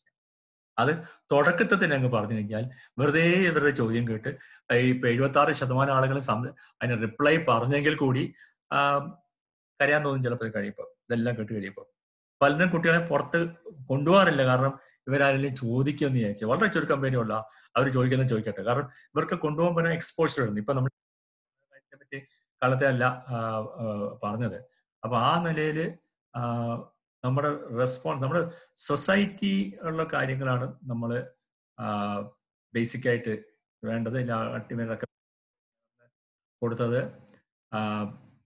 ഒന്ന് ഡോക്ടേഴ്സിനുള്ളതാണ് parents should be educated the need to put children Down syndrome in normal schools ഞാൻ പറഞ്ഞ അതാണ്. നോർമൽ സ്കൂളിൽ വിടണം എന്നുള്ള കാര്യം നമ്മൾ എല്ലാവരും അങ്ങോട്ടും ഇങ്ങോട്ടും പറഞ്ഞ് നമ്മുടെ പരിചയമുള്ള ആരെങ്കിലും സ്പെഷ്യൽ സ്കൂളിലാണ് വിടുന്നെങ്കിൽ അവരോട് പറയണം. അതല്ല നോർമൽ സ്കൂളിലാണ് വിടുന്നത്. ഒന്ന് രണ്ട് ക്ലാസ് താമസിച്ചായാലും സാരമില്ല നോർമൽ സ്കൂളിലാണ് വിടണ്ടെന്നുള്ളത്. പിന്നെ സൊസൈറ്റിയുടെ ഒരു അവയർനെസ് സൊസൈറ്റിക്ക് അവയർനെസ് ഉണ്ടാക്കുക എന്നുള്ള അവർ ആക്സെപ്റ്റ് ചെയ്യാൻ എനിക്ക് ചെയ്യിപ്പിക്കുക എന്നുള്ളതാണ് അവർക്ക് സ്വയം ആയിട്ട് ജോലി ചെയ്യാൻ പറ്റുമെന്നുള്ളതാണ്. വളരെ ബുദ്ധിമുട്ടുള്ള ചോദ്യങ്ങളൊന്നും ചോദിക്കാതിരിക്കാൻ വേണ്ടിയിട്ട് ഒരു അവയർനെസ് ക്രിയേറ്റ് ചെയ്യുക എന്നുള്ളതാണ് പിന്നുള്ളത് അവർക്ക് വേറെ കുറെ ചോദ്യങ്ങളുണ്ടായിരുന്നു. ഞാൻ ഈ പ്രസന്റേഷന് വേണ്ടിയിട്ട് അത്രയും കുറച്ച് വെച്ചിട്ടുള്ളൂ. വൊക്കേഷൻ ഇവർക്ക് ജോലി ചെയ്യാൻ പറ്റുമോ എന്നൊരു ചോദ്യം ഉണ്ടായിരുന്നു ആ ചോദ്യത്തിന് നല്ലൊരു പങ്ക് ആളുകളും ജോലി ചെയ്യാൻ പറ്റത്തില്ല എന്ന് എഴുതിയിരിക്കുന്നത് ജോലി ചെയ്യാൻ പറ്റും ജോലി ചെയ്യുന്നവർ നമ്മുടെ നാട്ടിലും ഇപ്പോൾ ഉണ്ട്. കഴിവുള്ള ആളുകൾ ഇപ്പം നമ്മുടെ നാട്ടിലുണ്ട് കാരണം അവർക്ക് ട്രെയിനിങ്ങിന് കൊടുക്കുന്ന ട്രെയിനിങ് കൊടുക്കുന്നതിനെ ആശ്രയിച്ചിരിക്കും. അതായത് വൊക്കേഷണൽ ട്രെയിനിങ് സമയത്തിന് കൊടുത്തെങ്കിൽ മാത്രമേ ആ ജോലിക്ക് ഇവരെ കൊണ്ട് ജോലി ചെയ്യാൻ സാധിക്കും. അപ്പൊ ആ ഒരു കാര്യവും നമ്മൾ എന്താ ഇവർ നേരത്തെ പറഞ്ഞ പോലെ ഇവർ ബുദ്ധിമാന്ദ്യമുള്ളതാണ് മന്ദബുദ്ധിയാണ് അങ്ങനൊന്നുള്ള ഒരു അവസ്ഥ അല്ല നമുക്ക് ആവശ്യം. ഇവരെ കൊണ്ട് സാധിക്കും അതുകൊണ്ട് എങ്ങനെ ട്രെയിൻ ചെയ്യാൻ പറ്റും എന്നുള്ളതാണ്. അപ്പൊ ബുദ്ധിമാന്ദ്യം നോക്കിയാൽ ഞാൻ നേരത്തെ പണ്ട് പറഞ്ഞിട്ടുണ്ട് ഒരു ക്ലാസ്സിൽ സാധാരണ ക്ലാസ്സിൽ എൺപത് മുതൽ നൂറ്റി ഇരുപത് ഐ ക്യു വരെയുള്ള കുട്ടികളുണ്ടാവും. നോർമൽ കുട്ടികൾ നോർമൽ എന്ന് പറയപ്പെടുന്ന കുട്ടികൾ. ഇതിനകത്ത് നൂറ്റി ഇരുപത് ഐ ക്യു ഉള്ള കുട്ടിയുടെ എൺപതുള്ള കുട്ടിയോട് താരതമ്യം അതിന്റെ എൺപതുള്ള കുട്ടിയെക്കാട്ടിലും ഇരട്ടി അല്ല അമ്പത് ശതമാനം കൂടുതൽ മറ്റേ ബുദ്ധിയുണ്ട്. അപ്പം എൺപതോ അല്ലെങ്കിൽ നൂറോ ഉള്ള ആൾ നൂറ്റി ഇരുപതിൽ ആളോട് നോക്കുമ്പോൾ ബുദ്ധിമാന്തിയനല്ലേ? മന്ദബുദ്ധിയല്ലേ? അപ്പൊ ഇതൊക്കെ ഒരു റിലേറ്റീവ് ടെർമിനോളജിയാണ് ഇതൊന്നും നമ്മൾ ഉപയോഗിക്കാൻ പാടില്ല. ഇവർക്ക് ഈ പിള്ളേർക്ക് ചിലപ്പോൾ എഴുപതേ കാണത്തുള്ളൂ ചിലപ്പോൾ അറുപതേ കാണത്തുള്ളൂ. അതുകൊണ്ടെന്താ? എൺപതും നൂറ്റി ഇരുപതും ഒന്നിച്ച് ജീവിക്കാമെങ്കിൽ എൺപതും അറുപതും എന്താ ഒന്നിച്ച് ജീവിച്ചാൽ എൺപതിന് ചെയ്യാൻ പറ്റുന്ന കാര്യങ്ങളൊക്കെ അറുപതിനും ചെയ്തുകൂടെ? അപ്പൊ നമ്മൾ ഇതൊക്കെ ട്രെയിനിങ് കൊടുക്കുന്ന ഇതൊക്കെ നമ്മുടെ സമുദായത്തിന് അറിവില്ലായ്മ കൊണ്ട് പലതും പറയുന്നതാണ്. അപ്പൊ ആ ഒരു കാര്യമാണ് നമ്മൾ ശ്രദ്ധിക്കേണ്ടത്. അവരെ സൊസൈറ്റിയെ നമ്മൾ സാറിന് ഡൗൺ സിൻഡ്രോം ഡേയും ഇതിപ്പോ ഡൗൺ സിൻഡ്രോം അവയർനെസ് മന്ത് ആണ് ഒക്ടോബർ എന്നുള്ളത്. കൊറോണ കാരണം പലതും നമുക്ക് ചെയ്യാൻ പറ്റിയിട്ടില്ല. അപ്പം ആ നിലയിൽ നമുക്ക് മറ്റുള്ളവരെ ബോധവൽക്കരിക്കുക എന്നുള്ളത് നമ്മുടെയും കൂടി ഒരു കാര്യമാണ്. എന്നാൽ മാത്രമേ നമുക്ക് മുമ്പോട്ട് ഇതിനെ കൊണ്ട് പോകാൻ പറ്റത്തുള്ളൂ. വേറെ ഒരുപാട് ക്വസ്റ്റ്യൻസ് ഉണ്ടായിരുന്നു. ഏകദേശം അറുപത്തിനാല് ചോദ്യങ്ങൾ ഉണ്ടായിരുന്നു. അതിൽ ചില ചോദ്യങ്ങളുടെ എടുത്തിട്ട് ഇതിനകത്ത് പ്രസന്റ് ചെയ്തിട്ടുള്ള അപ്പം അതായത് ആ ഒരു പ്രസന്റേഷനെ പറ്റി ഉണ്ടായിരുന്നത്. ടൈറ്റിൽ കൊടുത്തിരുന്നത്. Knowledge attitude and practice K P എന്ന് പറയും ഞങ്ങൾ knowledge attitude and beliefs of caretakers of children with Down syndrome ഇതിനെപ്പറ്റി വല്ലതും ചോദ്യം ചോദിക്കണമെന്ന് ചോദിക്കാം. പിന്നെ ഞാൻ മറന്നു പോകുന്നതിന് മുമ്പായിട്ട് വേറൊരു കാര്യം പറയാം. നിങ്ങൾക്ക് ഞാനൊരു ചെറിയ വീഡിയോ മൂന്ന് മിനിറ്റ് ഉള്ള ഒരു വീഡിയോ ക്ലിപ്പ് അയച്ചു തരുവാണെങ്കിൽ നിങ്ങൾക്കത് നിങ്ങളുടെ അത് കണ്ടിട്ട് നിങ്ങളുടെ കുട്ടിയുടെ റിയാക്ഷൻ റെക്കോർഡ് ചെയ്ത് എനിക്ക് അയച്ചു തരാമെന്നുണ്ടെങ്കിൽ ദയവ് ചെയ്ത് ഒന്ന് എനിക്കൊന്ന് മെസ്സേജ് ഇടുക. ഞാൻ ഇന്ന് വേണമെങ്കിൽ ദോസ് ഗ്രൂപ്പിലോട്ട് നോക്കാം. അല്ലെങ്കിൽ എന്റെ നേരിട്ട് എന്റെ ഇതിലോട്ട് അയച്ചാലും മതി. ഞാൻ ഉദ്ദേശിക്കുന്ന ഇതാണ് മൂന്ന് മിനിറ്റ് ഒരു വീഡിയോ റെക്കോർഡിംഗ് ആണ്. അത് നിങ്ങൾക്ക് അയച്ചു തരും. ആ വീഡിയോ റെക്കോർഡിങ് കുട്ടി കാണുന്ന സമയത്തുള്ള കുട്ടിയുടെ റിയാക്ഷൻ അത് ഒന്ന് കണ്ട് രണ്ടാമത് കാണുമ്പോൾ റിയാക്ഷൻ അല്ല. ആദ്യം ആ വീഡിയോ ക്ലിപ്പിംഗ് കാണുമ്പോൾ ഉള്ള റിയാക്ഷൻ ഒന്ന് മൊബൈലിൽ വീഡിയോ എടുത്ത് ആ കുട്ടിയുടെ റിയാക്ഷൻ എടുക്കേണ്ടത്. റിയാക്ഷൻ എടുത്തിട്ട് ഒന്ന് എനിക്ക് അയച്ചു തരിക എന്നുള്ളതാണ് ഞാൻ ഉദ്ദേശിക്കുന്നത്. അത് മൂന്ന് മിനിറ്റ് ഫുൾ വേണമെന്നില്ല. ഒന്ന് രണ്ട് മിനിറ്റ് ആയാലും കുഴപ്പമില്ല. നിങ്ങൾ ആദ്യം കാണുക. കുട്ടിയെ കാണിക്കാതെ. കണ്ടതിന് ശേഷം കുട്ടിയെ കാണിക്കുമ്പോൾ അപ്പം ഏതൊരു എവിടെയായിരിക്കും കുട്ടിക്ക് കൂടുതൽ അവരുടെ ഭാവഭേദം ഉണ്ടാകുന്നുള്ളത് നിങ്ങൾക്ക് ഏകദേശം ഐഡിയ കിട്ടും. അപ്പൊ ആ ഒരു ഇത് എനിക്ക് ഇന്ന് വൈകുന്നേരത്തിന് മുമ്പായിട്ട് ഒന്ന് അയച്ചു തന്നാൽ ഞാൻ അവർക്ക് പേഴ്സണലായിട്ട് അത് അയച്ചു തരാം ഈ വീഡിയോ വേറെ ആർക്കും നിങ്ങൾ ഫോർവേഡ് ചെയ്യരുത്. എന്നൊരു അഭ്യർത്ഥനയും കൂടെ ഉണ്ട്. അപ്പം ആ വീഡിയോ അയച്ചു തരുന്നത് കണ്ടതിന് ശേഷം പിന്നെ വേറെ അങ്ങോട്ട് ഫോർവേഡ് ചെയ്യരുത് എന്നുള്ളതാണ് എനിക്ക് പറയാനുള്ളത്. വേറെ ആർക്കും എന്തെങ്കിലും സംശയങ്ങൾ എന്തെങ്കിലും ചോദിക്കണമെങ്കിൽ ചോദിക്കാൻ നേരത്തെ ഒരാൾ കൈപൊക്കിയിരുന്നു പക്ഷേ അൺമ്യൂട്ട് ചെയ്ത് പിന്നെ വന്നില്ല. സർ എത്ര വയസ്സ് മുതലുള്ള കുട്ടിയാണ്? സർ എത്ര വയസ്സ് മുതലുള്ള കുട്ടിക്കാണ് വീഡിയോ കാണിച്ച് റെസ്പോണ്ട് റെക്കോർഡ് ചെയ്യേണ്ടത് എത്ര റെസ്പോൺസ് വരുന്നുള്ള ഏതൊരു കുട്ടിയും കാണിക്കാം. അത് കണ്ടാൽ ഒരു റെസ്പോൺസ് വരണം. അത് എന്താന്ന് ഞാൻ പറയുന്നില്ല. ആ വീഡിയോ കണ്ടു കഴിഞ്ഞാൽ ഇപ്പൊ പത്ത് പതിനഞ്ച് വയസ്സുള്ള കുട്ടികൾ ചിലപ്പം അങ്ങനെ റെസ്പോൺസ് കണ്ടെന്ന് വരത്തില്ല. റെസ്പോൺസ് ഉണ്ടെങ്കിൽ എടുത്ത് അയക്കുക അല്ല വെറുതെ കണ്ടുവച്ചിരിക്കുകയാണെങ്കിൽ പിന്നെ അത് അയച്ചിട്ട് കാര്യമില്ല. അവരുള്ളൊരു മുഖത്തുള്ളൊരു ഭാവഭേദം അവരൊരു സന്തോഷം അല്ലെ അവരൊരു സങ്കടം എങ്കിൽ സങ്കടം അല്ലെ ആ ഒരു എക്സൈറ്റ്മെന്റ് അതാണ് ഞാൻ ഇതിനകത്തുനിന്ന് ഇവരുടെ ഭാവം അതിനകത്തുനിന്ന് എടുക്കാൻ ഉദ്ദേശിക്കുന്നത്. അപ്പം എത്ര വയസ്സെന്ന് പക്ഷെ ഒരു ഭാവഭേദം ഉണ്ടെങ്കിൽ നിങ്ങൾ നിങ്ങളുടെ പിള്ളേർ റെക്കോർഡ് ചെയ്ത് നോക്കുക അതിന്റെ അകത്ത് കാര്യമായിട്ട് വികാരങ്ങൾ ഭാവഭേദം ഒന്നും ഇല്ലെങ്കിൽ അത് അയച്ചിട്ട് കാര്യമില്ല. എനിക്കൊരു പത്ത് പേരുടെ വേണം. അപ്പോൾ വേണമെങ്കിൽ ഒരു പത്ത് പതിനഞ്ച് പേരുടെ എടുത്തു കഴിഞ്ഞാൽ ഒരു പത്ത് പേരുടെ എനിക്ക് സെലക്ട് ചെയ്യാൻ പറ്റുമായിരിക്കും. ഇതില്ലാത്ത ഒന്ന് രണ്ട് പേർക്ക് ഞാൻ ഇത് നേരിട്ട് അയച്ചു കൊടുക്കുന്നുണ്ട്. അപ്പൊ ഇതിലുള്ളവർക്ക് ആർക്കാന്ന് വെച്ച് കഴിഞ്ഞാൽ പറഞ്ഞു കഴിഞ്ഞാൽ എനിക്ക് മെസ്സേജ് ഇട്ട് കഴിഞ്ഞാൽ ഇവിടെ ഗ്രൂപ്പിൽ ഇട്ടാലും മതി. അതല്ലെങ്കിൽ ഗ്രൂപ്പ് എന്ന് വെച്ചാൽ കാലിക്കറ്റ് ഗ്രൂപ്പിൽ അല്ലെങ്കിൽ എനിക്ക് നേരിട്ട് മെസ്സേജ് അയക്കുക ഞാൻ വാട്സാപ്പ് സാധാരണ നോക്കാറില്ല. അപ്പൊ ഇന്ന് വൈകുന്നേരം വരെ ഞാൻ നോക്കാം മെസ്സേജ് വല്ലതും ഉണ്ടോ എന്നുള്ളത്. അത് കഴിഞ്ഞാൽ പിന്നെ എന്നെ കമ്മ്യൂണിക്കേറ്റ് ചെയ്യാനായിട്ട് വാട്സാപ്പ് നോക്കിയാൽ നോക്കി എന്നുള്ളതേ ഉള്ളൂ.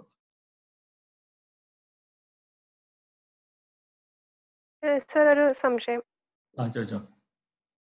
സർ ഇപ്പൊ സൊസൈറ്റിയുടെ റെസ്പോൺസിനെ പറ്റി പറഞ്ഞിട്ടുണ്ടായില്ലേ സർ പേപ്പറിൽ ഇപ്പൊ നേരത്തെ ഒരു എളമക്കര എന്നുള്ള ഒരു അമ്മ സംസാരിച്ചല്ലോ അവർ ക്ലാരിറ്റി കുറഞ്ഞ് സംസാരിച്ചത്. അപ്പൊ അവരും അതിനെ പറ്റിയിട്ടാണ് പറയാൻ ശ്രമിച്ചത്. സൊസൈറ്റിയുടെ റെസ്പോൺസ് അതുകൊണ്ട് ഉണ്ടാവുന്ന ഒരു വിഷമം എന്നാണ്. അപ്പൊ സാറ് പറഞ്ഞല്ലോ നമുക്കൊരു അവയർനെസ് കൊടുക്കാൻ പറ്റുന്നു. അപ്പൊ പാരന്റ്സിന്റെ ഭാഗത്തുനിന്ന് നമുക്ക് എങ്ങനെയാണ് അവയർനെസ് കൊടുക്കാൻ പറ്റുക. ലൈക്ക് മറ്റുള്ളവർക്ക് ഇപ്പൊ ഡൗൺ സിൻഡ്രോം ആണ്. അപ്പൊ കാണുന്നവർക്ക് അത് ഡൗൺ സിൻഡ്രോം ആണെന്നോ അല്ലെങ്കിൽ ഓട്ടീസ് ആണെന്നോ അങ്ങനെ അവർക്കൊന്നും അത് ഡിഫറൻഷിയേറ്റ് ചെയ്യാൻ പറ്റില്ല അപ്പൊ നമുക്ക് ഇൻ ജനറൽ എന്തൊക്കെ ചെയ്യാൻ പറ്റും? ഒരു സാധാരണ അവയർനെസ് നമ്മൾ world Down syndrome day March ഇരുപത്തി ഒന്നിൽ നമ്മൾ പബ്ലിക് മീറ്റിംഗ് ഒക്കെ കൂടുന്നതിന്റെ ഉദ്ദേശം തന്നെയാണ്. അവർക്കൊരു അവയർനെസ് കൊടുക്കുക. ഈ കുട്ടികളുടെ പോസിറ്റീവ് ആസ്പെക്ട്സ് കാണിച്ചു കൊടുക്കുക. പിന്നെ പല മാധ്യമങ്ങളിലൊക്കെ എന്താ ലേഖനങ്ങളും അതും ഇതൊക്കെ ഉള്ളത് പ്രൊജക്റ്റ് ചെയ്യുക എന്നൊക്കെയാണ് നമ്മളിപ്പോ ഇൻ ജനറൽ ആയിട്ട് ചെയ്യാൻ പറ്റുന്നത്. പിന്നെ നമുക്ക് പേഴ്സണൽ ആയിട്ട് പരിചയമുള്ളവരോട് നമ്മളോട് ഇതിനെപ്പറ്റി അവരെ ക്ഷമയോട് പറഞ്ഞ് മനസ്സിലാക്കുക. ഇത് ഒരു ഒരവസ്ഥയാണ് ഒരു രോഗമല്ല. ഒരവസ്ഥയാണ് ഞാൻ എപ്പോഴും പറയാറുണ്ട് ഒരു ആൺകുട്ടിയും പെൺകുട്ടിയും വ്യത്യാസമാണ്. എക്സ് എക്സ് വൈ ആണ്. ആ ക്രോമസോമിന്റെ വ്യത്യാസം കൊണ്ട് ഒരു അസുഖം എന്ന് പറയുകയാണെങ്കിൽ ആൺകുട്ടി പെൺകുട്ടിയോട് നോക്കുമ്പോൾ ഒരു അസുഖമുള്ള ആളാണ്. അല്ലെ പെൺകുട്ടി ആൺകുട്ടിയോട് നോക്കുമ്പോൾ ഒരു അസുഖമുള്ള ആളാണ്. ഒരാൾക്ക് എക്സ് കൂടുതലാണ് ഒരാൾക്ക് വൈ ആണുള്ളത്. അപ്പൊ അതുകൊണ്ട് ഇതൊരു കമ്പാരിറ്റീവ് ആയിട്ടുള്ള ഒരു സ്റ്റേറ്റ്മെന്റ് എന്ന് മാത്രമേ ഉള്ളൂ. അപ്പൊ ആ രീതിയിൽ നമ്മൾ വൺ ഇസ്റ്റു വൺ ആയിട്ട് നമുക്ക് കൗൺസിലിംഗ് അല്ലെങ്കിൽ പറഞ്ഞു കൊടുക്കാം. അല്ലെങ്കിൽ ഗ്രൂപ്പ് സെഷൻസ് ആയിട്ട് മീറ്റിങ്ങുകൾക്കും അങ്ങനെയൊക്കെ വരുമ്പോൾ പറഞ്ഞു കൊടുക്കാം. പിന്നെ ഉള്ളത് നമ്മൾ നമ്മുടെ നമുക്കറിയാമെങ്കിൽ മാത്രമേ നമുക്ക് വേറെ പറയാൻ പറ്റത്തുള്ളൂ. ആ ഒരു അവയർനെസ്സും കൂടി നേരത്തെ പറഞ്ഞൊരു പേരന്റ് ആകെ ഡിജക്റ്റഡാ ഡിജക്റ്റഡ് ആയിട്ടുള്ള പേരന്റിന് എന്ത് പറഞ്ഞു കൊടുക്കാൻ പറ്റും? ആ ഒരു അവസ്ഥയുണ്ട്. ഞാൻ കഴിഞ്ഞ പറഞ്ഞ ഒരു സിനിമ വന്നതിന് അമേരിക്കയിലെ ഒരു സിനിമ വന്നതിന് ഭയങ്കര പോപ്പുലർ ആയിട്ട് ഭയങ്കര വൈറലായിട്ടുള്ള ഒരു സിനിമയാണ്. എന്താ peanut butter falcon peanut butter falcon അതുപോലെ നമ്മുടെ ഇവിടെ കഴിഞ്ഞ കൊല്ലം എടുത്ത ഒരു ഫിലിം ഉണ്ട് കഴിഞ്ഞ കൊല്ലം അവസാനം ഈ കൊല്ലം കൊറോണ കാരണം റിലീസ് ചെയ്യാതെ പറ്റിയതാണ്. അത് ഈ മാസം അവസാനം ആകുമ്പോഴത്തേക്ക് ഡൗൺ സിൻഡ്രോം അവയർനെസ് മന്തിന്റെ അവസാനമാകുമ്പോഴത്തേക്ക് റിലീസ് ചെയ്യാനാണ്. സിനിമ തിയേറ്ററിൽ പറ്റത്തില്ല അവർ മറ്റും ഇതിലെ കൂടിയായിട്ട് റിലീസ് ചെയ്യാൻ ഉദ്ദേശിക്കുന്നുണ്ട്. നമ്മുടെ ഗ്രൂപ്പിലുള്ള മൂന്ന് പിള്ളേരാണ് ഇതിനകത്ത് ആക്ട് ചെയ്തിരിക്കുന്നത്. അതൊക്കെ അറിയാം ഗോപികൃഷ്ണന്റെ കാര്യം. ഇന്ന് ഗോപിയുടെ ഫാദർ കണ്ടിട്ടില്ല. കഴിഞ്ഞ ആഴ്ച ഗോപിയുടെ ഫാദർ ഉണ്ടായിരുന്നു. ഒരു നിലയിൽ അതെല്ലാം അവയർനെസ് ആണ്. ഇവരെ കൊണ്ട് ഇതൊക്കെ സാധിക്കും എന്നുള്ളതിന് അവയർനെസ് ആണ്. ഇവരെ കൊണ്ട് സാധിക്കും. പിന്നെ നമ്മുടെ കുട്ടികൾക്ക് എന്തെങ്കിലും കിട്ടിക്കഴിഞ്ഞാൽ എന്തെങ്കിലും നല്ല കിട്ടിക്കഴിഞ്ഞ ഇപ്പം പ്രൈസോ അങ്ങനെ കിട്ടിക്കഴിഞ്ഞാൽ അത് സോഷ്യൽ മീഡിയയിലൊക്കെ ഇടും. ഇപ്പൊ സോഷ്യൽ മീഡിയയാണ് ഏറ്റവും കൂടുതലായിട്ട് പോകുന്നത്. എന്ത് പറഞ്ഞാലും സോഷ്യൽ മീഡിയ എല്ലാം വിശ്വസിക്കാൻ പറ്റത്തില്ല. പക്ഷെ എന്നാലും സോഷ്യൽ മീഡിയയിൽ ഇട്ട് കഴിഞ്ഞാൽ ബാക്കിയുള്ളവർ അറ്റ്ലീസ്റ്റ് കാണുന്നവർ ഒരു വ്യത്യാസം ഉണ്ടാവും എന്നെപ്പോലുള്ള ചിലപ്പോൾ അധികം കണ്ടെന്ന് വരത്തില്ല. ബട്ട് ഞാൻ സോഷ്യൽ മീഡിയയിൽ ധാരാളം ഇടാറുണ്ട്. ബെനിഫിറ്റ് വന്നോട്ടെന്ന് കഴിച്ച് പക്ഷെ അതിനകത്ത് മുഴുവൻ ഇരുന്ന് വായിച്ചു നോക്കാനുള്ള സമയം എനിക്ക് കിട്ടാറില്ല. അപ്പൊ ആ ഒരു നിലയിൽ എന്തായാലും ഒരു ഇമ്പാക്ട് ഉണ്ടാകും. മറ്റു മനുഷ്യരിൽ. ഇതാ ഇവർ സാധാരണ കുട്ടികളാണ്. ഇവർക്ക് നമ്മൾ അനുഭവിക്കുന്ന എല്ലാം അനുഭവിക്കാനുള്ള അർഹതയുണ്ട് എന്നുള്ളത് നമ്മൾ കാണിച്ചു കൊടുക്കാന്നുള്ളത്